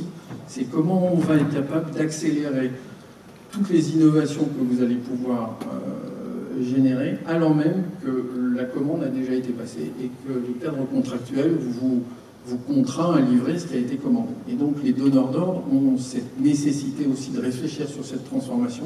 C'est comment j'intègre le cycle court dans le cycle long.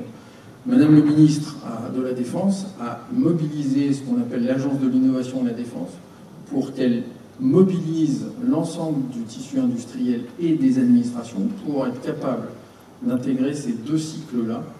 Euh, parce que pour Navalmo, par exemple, puisqu'on les a cités, a dit, ils nous ont présenté que le combat de l'innovation était pour eux la capacité qu'ils avaient à se battre, d'une part pour faire la guerre, et d'autre part contre le marché concurrentiel. Et donc c'est pour eux une obligation de rentrer dans l'innovation et d'accélérer cette, euh, cette intégration du cycle court dans le cycle long. Donc ces, ces technologies sont fondamentales et on a bien conscience de notre responsabilité, nous, Microsoft, c'est d'apporter ces outils et ces technologies de telle manière à ce que vous, vous puissiez les utiliser. Mais à aucun moment Microsoft ne jouera le rôle d'intégrateur. Il ne va chercher qu'à vous fournir, à écouter vos problématiques et à vous mettre face à vous des solutions techniques euh, qui, vont, euh, euh, qui vont apporter. Le Digital Twins, c'est un vrai sujet. Qualité des données, quantité des données.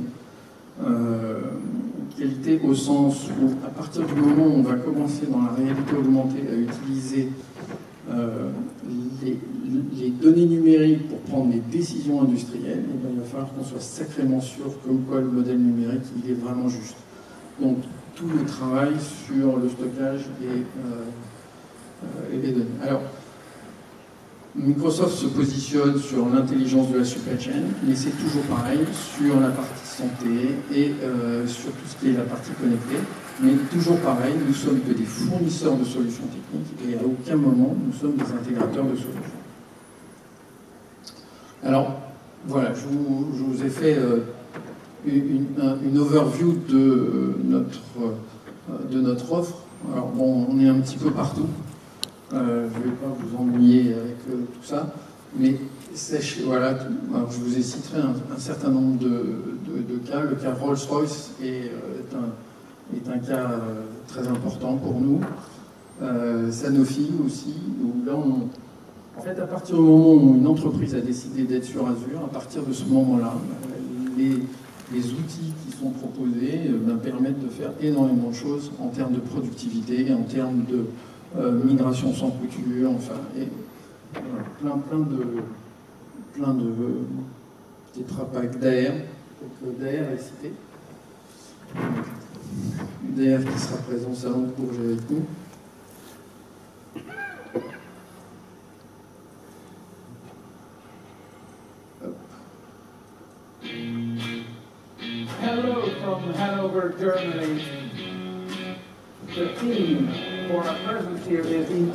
Alors ça c'était le salon Hanover Messo. Je pense que les industriels y étaient, nous aussi.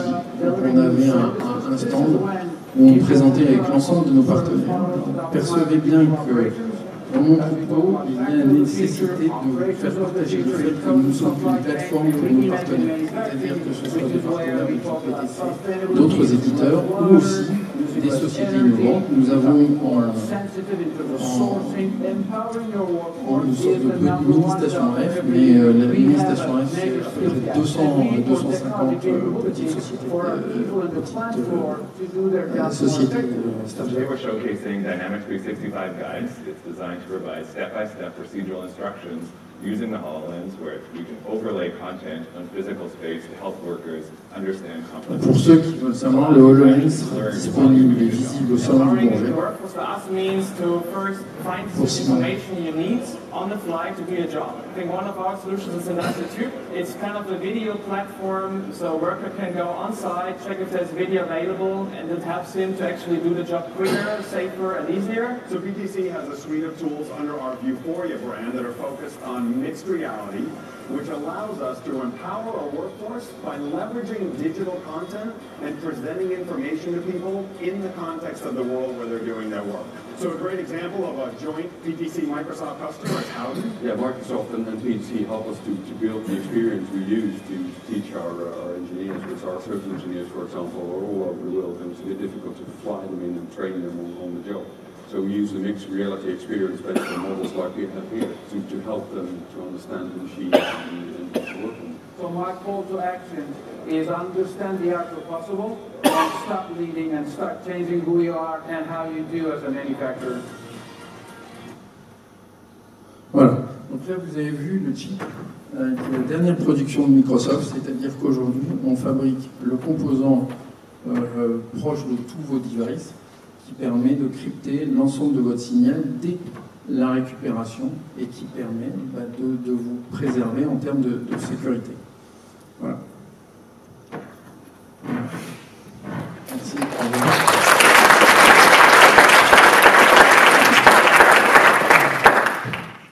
J'en ai plusieurs, mais je vous en donner. Je vais commencer par la plus simple. Euh, donc, euh, bon, gestion des flux, etc. Moi, j'ai passé toute ma vie à, faire euh, du toyotisme, si je puis dire. Parce que mon premier job était chez Toyota et j'ai appliqué toute ma vie pendant 43 ans. les modèles qui ont été présentés de, flux, bon, le plus concret, c'est Jean-Baptiste, hein, on tombe directement. Mais est-ce qu'on est dans le flux poussé, le flux tiré, le flux synchrone? Ça, c'est le modèle hein, euh, d'avenir. Et, comment gère-t-on l'incident? Parce que la vraie vie, c'est jamais ce qui est dans la machine. Euh, enfin, par rapport à une typologie de clients industriels qui sont tous à des niveaux de maturité différents, c'est-à-dire qui sont, qui sont pas lean, qui croient, qui veulent ou qui pensent être lean, enfin, on, a tout, on a tout ça en magasin. Et en fait, très vite, pour faire correctement notre job, on est assez vite à essayer de déterminer en fonction de la maturité de notre client et de sa réalité industrielle, c'est pas lui qui est mauvais, il y a des contextes industriels qui sont plus compliqués que d'autres, c'est de savoir où est-ce qu'on met le point de découplage. Justement, le point de découplage entre euh, le flux poussé, euh, 3615 MRP, et le, flux tiré, euh, je sais ce que je vais produire. Et, euh, on voit qu'à travers un panel industriel très différent, il y en a pour lequel le point de découplage, il, faut mieux bien le charger. Quoi. Donc on a tous les cas, mais ce qui est sûr, c'est que dans tout ce qu'on vous a montré là, il y a des facteurs d'accélération dans la préparation ou dans la... nous aussi, on, va parler de, de, comment on appelle ça le fait qu'un impondérable fasse le moins de dégâts possible sur une durée euh, la plus courte possible. Donc euh, ça, c'est un vrai enjeu aussi pour nous, pour la logistique. C'est de savoir comment... Euh, et le DDMRP met bien en, avant d'ailleurs. Les, logiques de dimensionnement des buffers pour que ça explose pas derrière. En tout cas, nos métiers ne permettent pas d'être dans une approche en disant Jacques a dit, tout va bien se passer.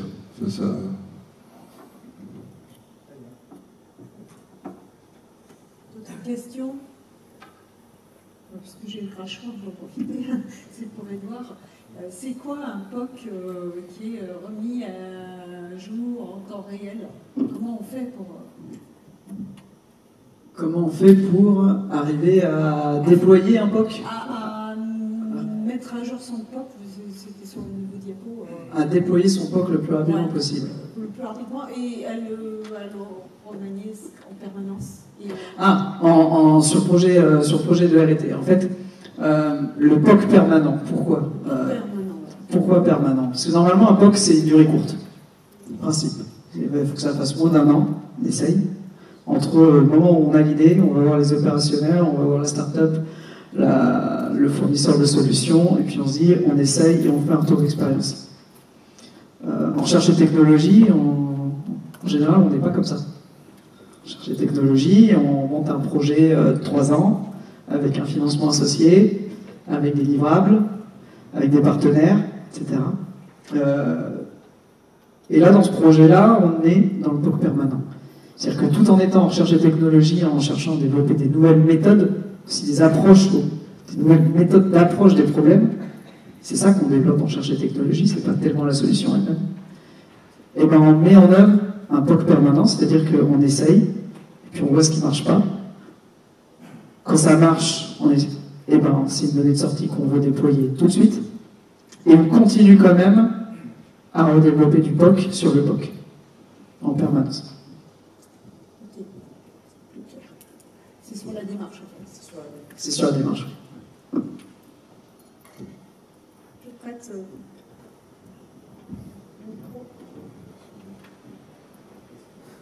Euh.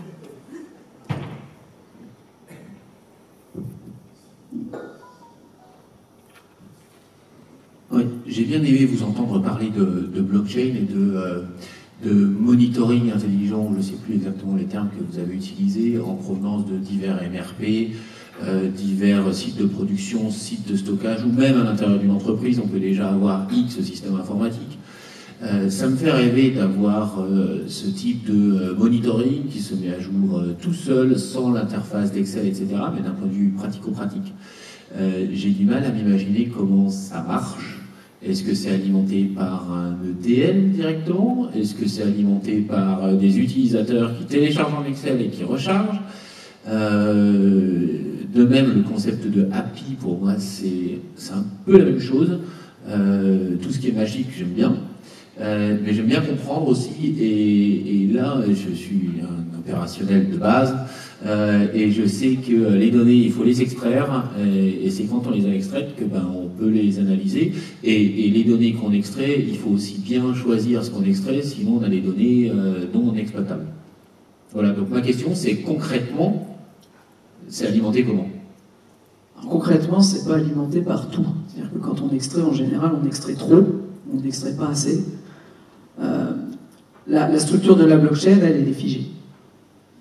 Et c'est son interface, elle, avec laquelle on va dialoguer. Alors on est d'accord que ben, ça va pouvoir être hybride, c'est-à-dire qu'il ben, va y avoir une interface utilisateur qui va être une interface web dans laquelle va y avoir de la saisie. La question qu'on se pose, c'est est-ce qu'il vaut mieux s'envoyer des fichiers Excel, de listing, euh, de, de shipment, etc. Ou est-ce qu'il vaut mieux donner tout de suite à l'ensemble de ces euh, tier 1 une interface web dans laquelle il fait directement ses saisies Ça, ça va être la première approche. La deuxième approche, c'est le fait d'avoir une API. Cette API, ça permet à ce tier 1, s'il a un logiciel, lui, de développer directement le connecteur qui lui permet de communiquer avec cet, euh, cet environnement blockchain. Donc c'est une interface que vous avez parlé, euh, ce n'est pas simplement des interfaces, mais finalement c'est des interfaces des, des utilisateurs qui téléchargent les données. Oui. Oui. Après, euh, l'idée, c'est pas de pouvoir fonctionner en extraction sur, euh, sur ce système blockchain. L'idée, c'est de le consulter. Et que chacun ait la bonne information en même temps. On ne va pas être sur un mode de requêtage euh, qui va nous permettre de faire de l'analytics, etc. Ça, c'est chacun qui le fait chez soi. Et tout le monde ne pourra pas tout extraire de toute façon. Donc, c'est impossible. Chacun respecte sa data. Par contre, pour savoir qu'un colis est expédié, et se mettre d'accord avec son client sur le fait que euh, le colis a été expédié et il a été expédié à telle date, euh, avec tel fournisseur, avec euh, tel document douanier, etc. On a besoin d'un tiers de confiance dans lequel, qui nous permet de tracer ça, de l'enregistrer et de plus jamais y revenir. S'il y a un souci, eh ben, c'est comme si on avait signé un contrat à chaque fois qu'il y, qu y, a une expédition qui est effectuée. Donc, je suis pas en train de dire que c'est pas magique. Hein, c'est pas d'un seul coup, vous avez tout euh, qui, qui, va, qui va être tracé. C'est que d'un seul coup, euh, on partage tous ensemble l'information au même endroit et on s'assure que cette information ne sera jamais détériorée. Que cette information ne sera jamais falsifiée, ni par le fournisseur, ni par le client. C'est de ça dont on s'assure. Je ne suis pas en train de vous dire que ça va être magique et que du jour au lendemain, pour tous les fournisseurs qui font tout leur bon de livraison au papier, eh ben, ça, va être, ça va être génial parce qu'ils n'auront plus rien à faire, c'est pas vrai. Et, donc pour vous rassurer, ce qui est génial, c'est qu'on a du temps en fait. C'est-à-dire que la blockchain, ça ne va pas arriver tout de suite, mais ça tombe bien, vous avez un petit peu de temps à passer à avoir un, nettoyage de vos données, qui est un travail de mine vraiment pas gratifiant. Mais c'est là-dessus que la plupart de nos, nos tentatives vont échouer. Vous prenez un simple process qui est le process de facturation.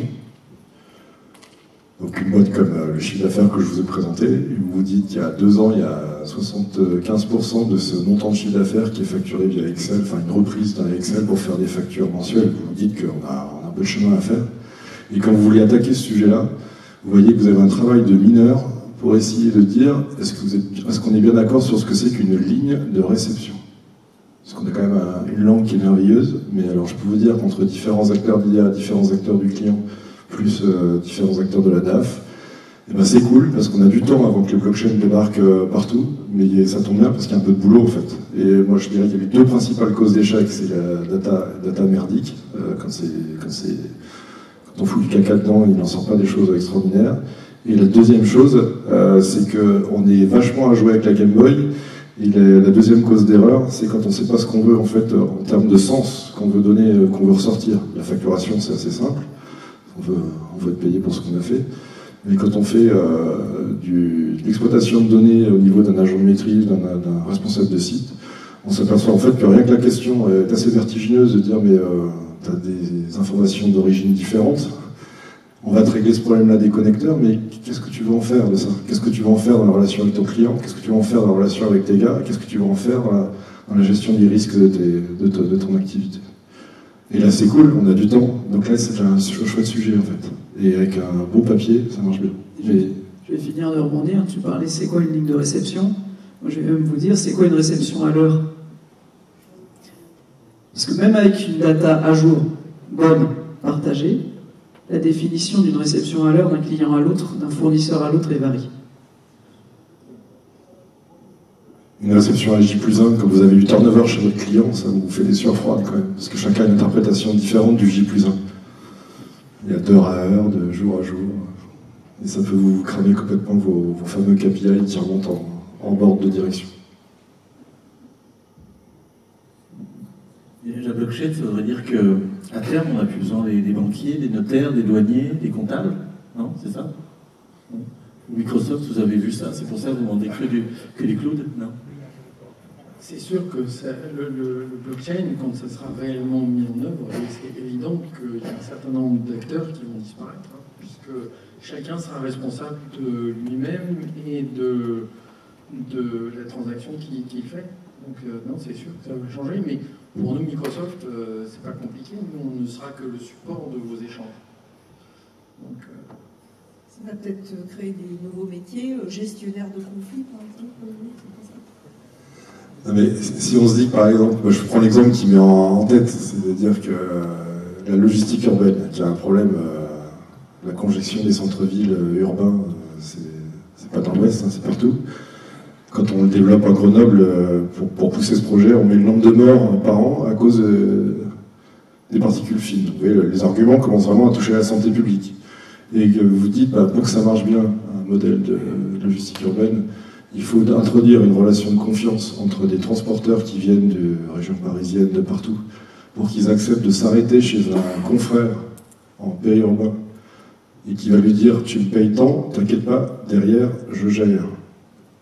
Alors que le confrère, le confrère, il ne veut pas savoir, il veut pas que son confrère, il rentre dans la relation avec ses clients et qu'il a un contrat de service à honorer qui va lui, qui va justifier qu'il soit payé ou pas. Donc il va, il va déléguer à un confrère euh, toute une chaîne qui fait qu'il sera payé ou pas. Et donc on a des enjeux de mode de preuve, on a des enjeux de sécurité de l'info et de confidentialité. Et donc euh, on se dit, bah, si la blockchain est un élément qui doit accélérer le développement de modèles euh, qui permet d'avoir des vies apaisées en centre-ville et qui fassent moins de morts, euh, bah, je trouve que la blockchain, c'est un, enjeu intéressant.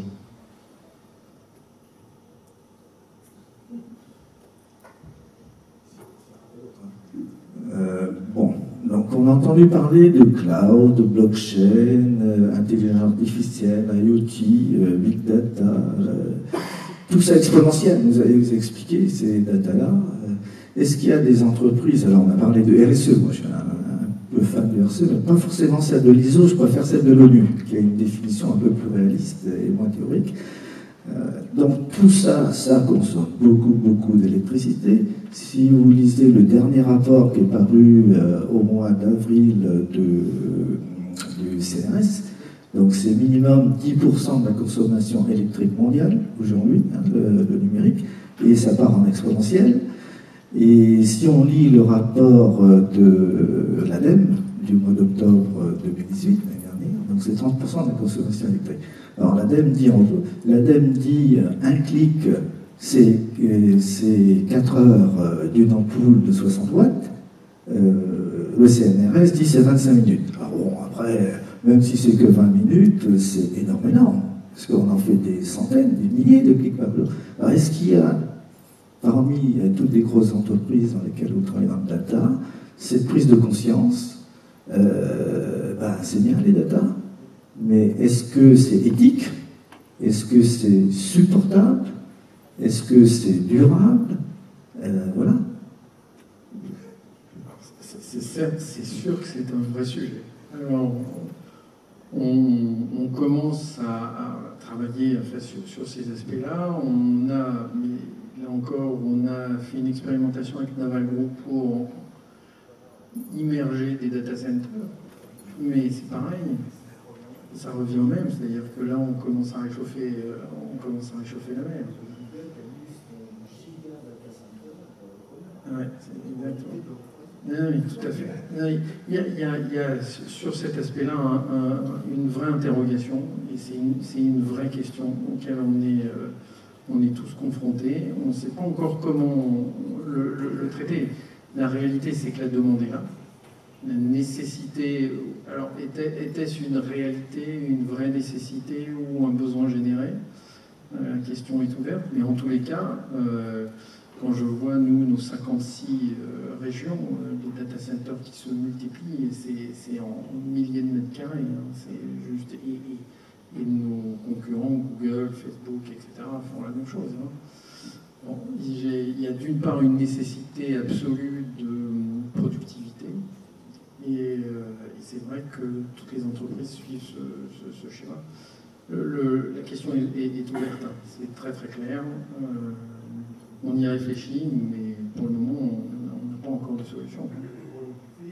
La moyenne data center, c'est l'équivalent de 1200 000 Oui. En moyenne. Imaginez des noms en France, toutes les villes de France concernant cette ville de data center. La ville de Paris vient d'ouvrir son data center et, chauffe avec 400 euh, logements, euh, rien qu'avec la chaleur produite. Avec les... Je pense que c'est une vraie, vraie question éthique. Non, mais je pense que tout le monde numérique se pose des questions autour de ça, hein. c'est clair.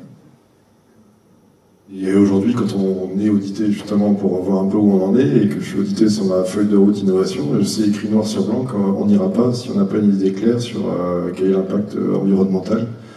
Il y en a qui parlent de euh, blockchain privé, je ne sais pas si c'est tarte à la crème, j'ai pas le recul et c'est pas le sujet, mais, mais, en tout cas, il y a une question qui est levée, les réponses ne sont pas toutes uniformes, vous l'avez dit vous-même, mais ce point-là, il faut qu'il soit éclairé avant de prendre des initiatives quand ça se présentera. À côté de ça, la machine est emballée, elle, elle court d'une manière absolument extraordinaire. Je posais la même question il y a juste un député La réponse c'est pas l'agenda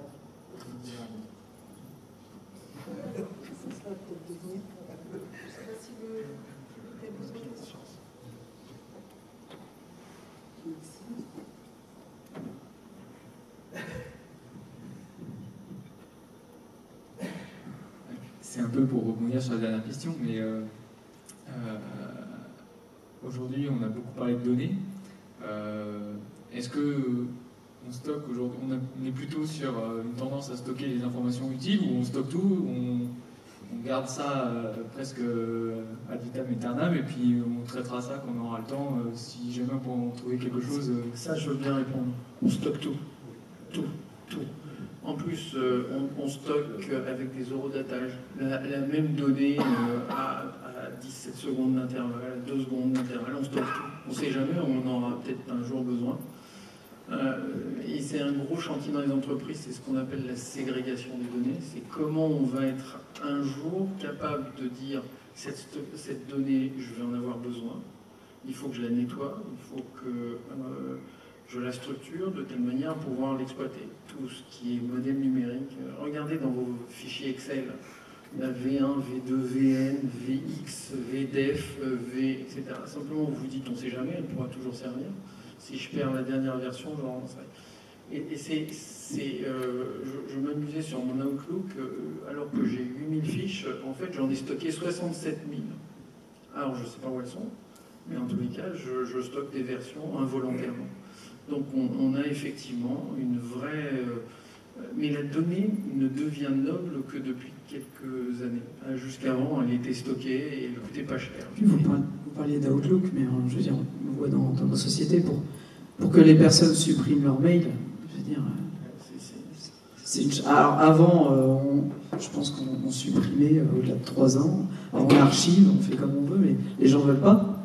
Et puis on ajoute, on ajoute, on ajoute des personnes sur des chaînes de mail avec des pièces jointes qui font, euh, qui font 50, 100, 200 mégas avec des fichiers images stockés X fois sur les serveurs. Je ne sais pas combien représente le mailing en termes de stockage. moi j'ai quand même l'impression que c'est euh, que c'est assez gigantesque. Regardez, combien de fois vous avez écrasé vos disques durs plutôt que racheter un disque dur? Vous rachetez un disque dur, on ne sait jamais. Et, ça, c'est fondamental et c'est structurel dans toutes les entreprises. On n'arrive pas à gérer les données. Pour des administrations où on rajoute les notions de sécurité, eh bien, tout est stocké, tout est, et rien n'est détruit. Vous parlez des mails qui m'inquiète moins, c'est le stockage que le trafic. Parce que l'ADEME, hein, je passe le rapport de l'ADEME, octobre 2018. Hein. Donc je suppose que l'ADEME ne raconte pas de bêtises. Euh, elle dit qu'un email, c'est l'équivalent d'une ampoule de 60 watts pendant 24 heures. Ceux qui font reply all chaque fois, c'est 24 heures par adresse. Euh, faut être conscient de ça.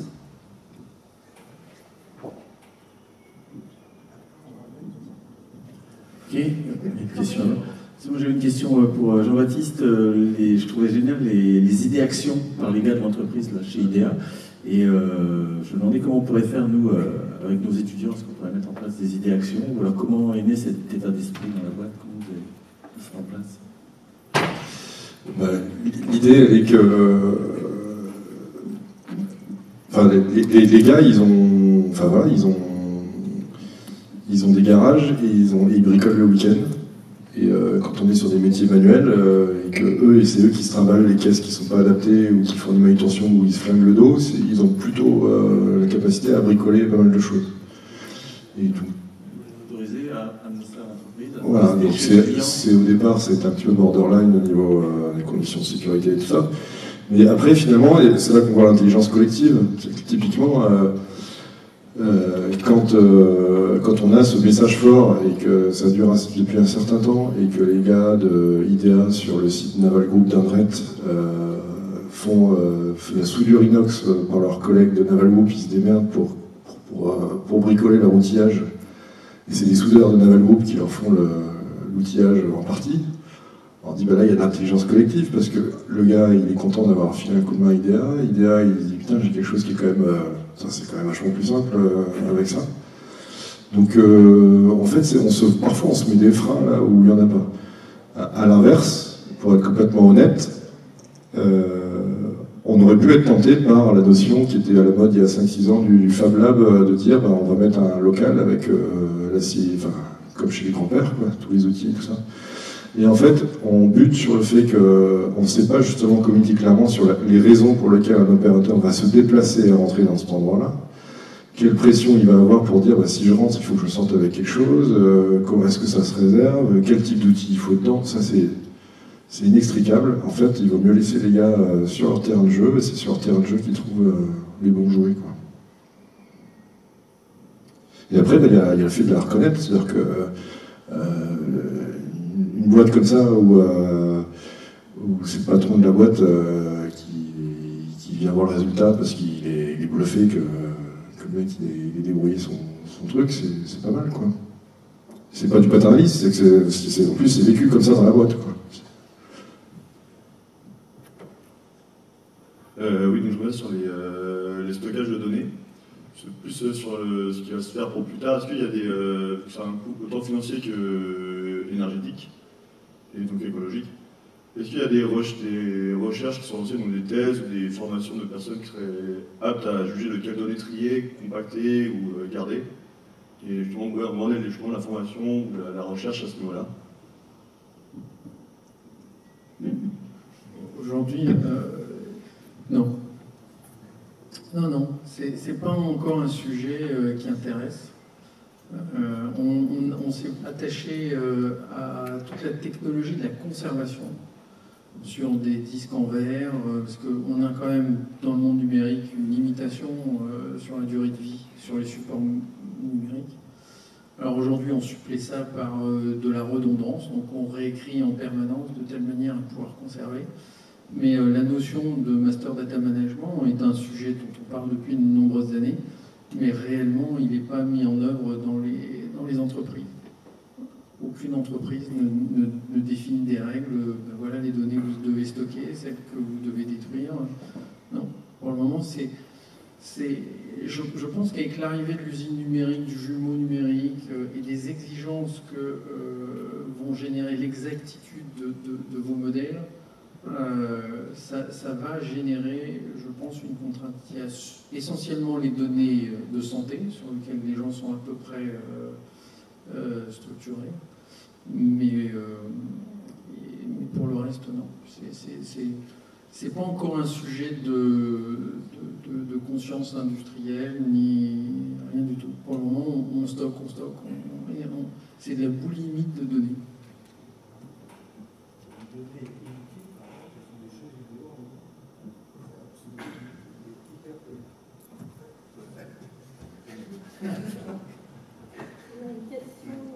Oui, je vais changer un peu de sujet. Euh, ce qui m'a étonné, c'est que d'un côté, il y a Microsoft qui fournit des solutions pour utiliser les données, Et de l'autre côté, il y a Daer qui fait aussi sa partie en blockchain. Euh, c'est-à-dire que, est-ce que à Daer, vous développez un outil pour euh, l'imposer à, vos fournisseurs et aux clients? Est-ce que, comment ça se passe? Alors déjà, on utilise des technologies Microsoft, hein, que ce soit les... Donc, tout, tout, ce que vous avez vu sur la partie intelligence artificielle, qui derrière est dans une interface euh, Power BI, la même chose pour, euh, la même chose pour, euh, pour le cockpit supply chain. Ensuite, pour la partie blockchain, on repose sur une solution de notre partenaire Authenticity, qui est une solution basée sur de l'Ethereum, qu'on n'a pas développé nous-mêmes.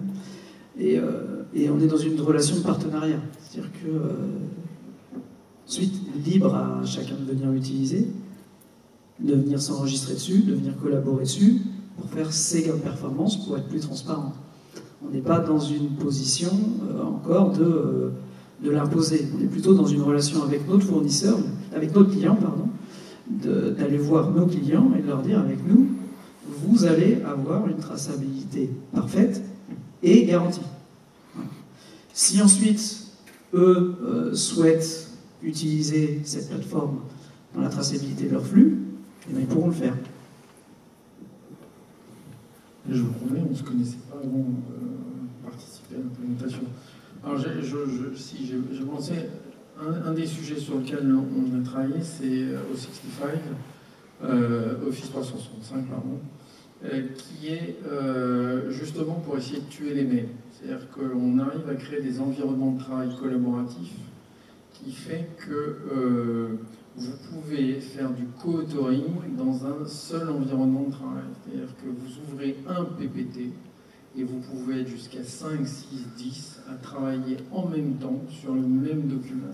Ce qui fait que vous ne vous envoyez pas, c'est fini, le mail avec la, version 02-TS 22h17 qui est celle de référence pour que votre copain puisse faire la même chose à 23h et vous la renvoyer à 24h pour la présentation du matin.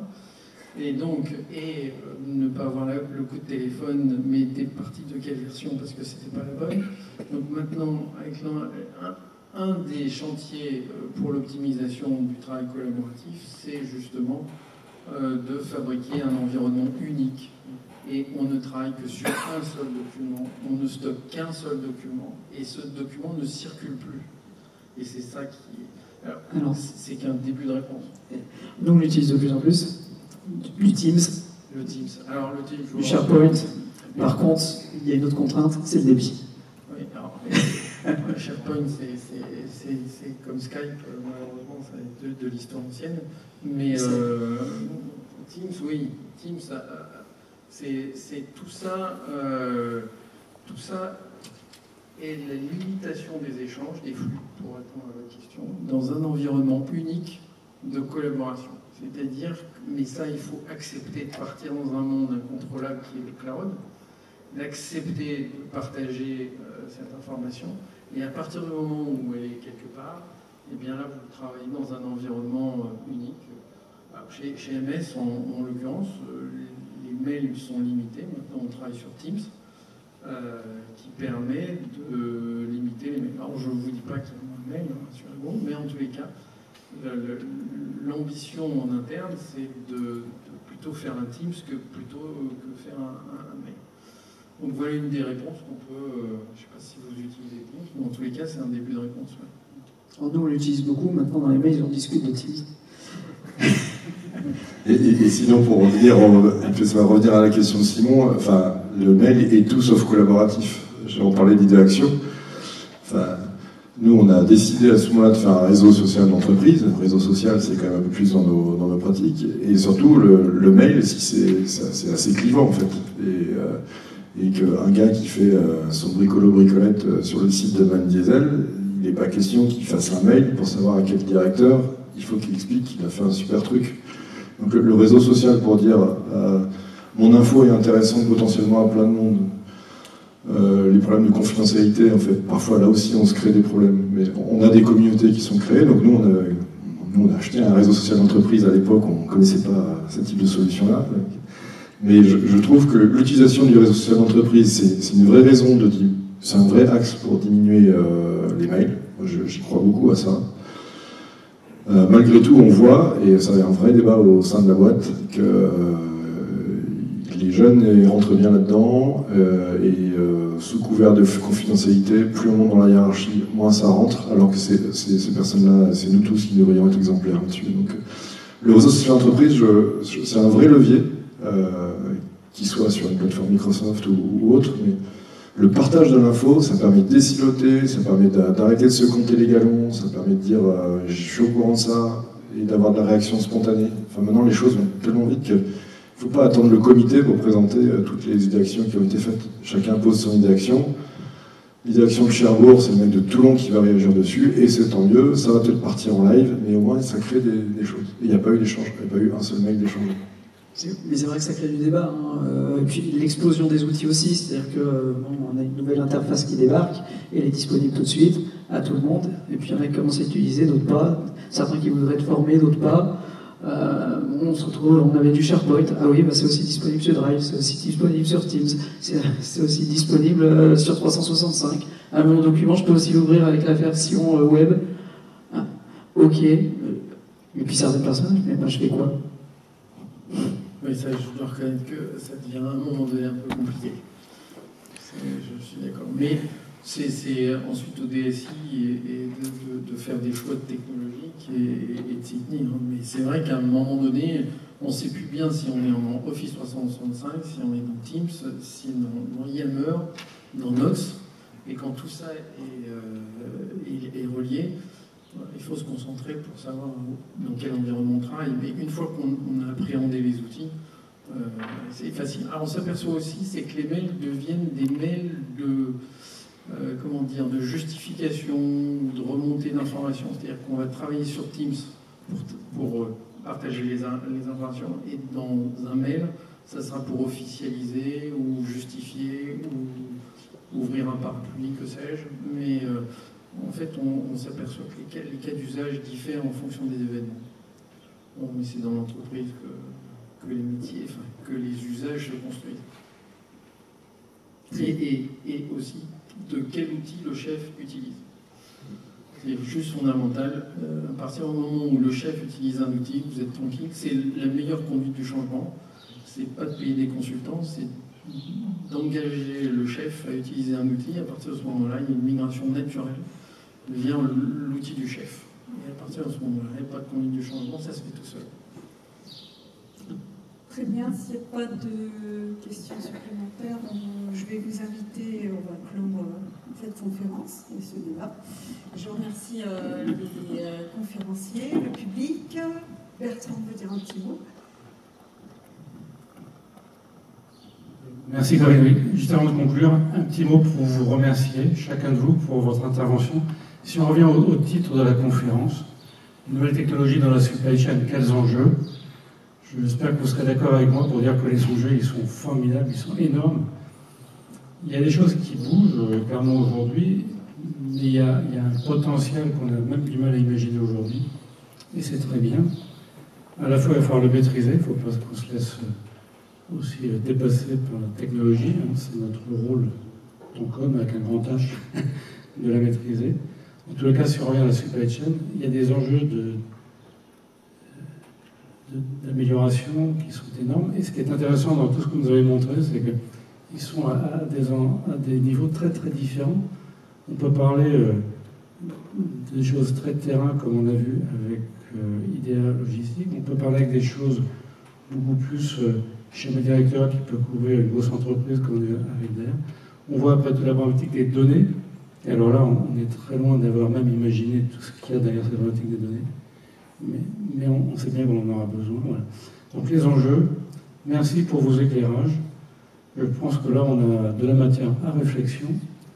Et à nous maintenant, chacun dans notre métier, de savoir comment nous voulons utiliser les nouvelles technologies dans notre supply dans nos supply. Merci bien à vous tous.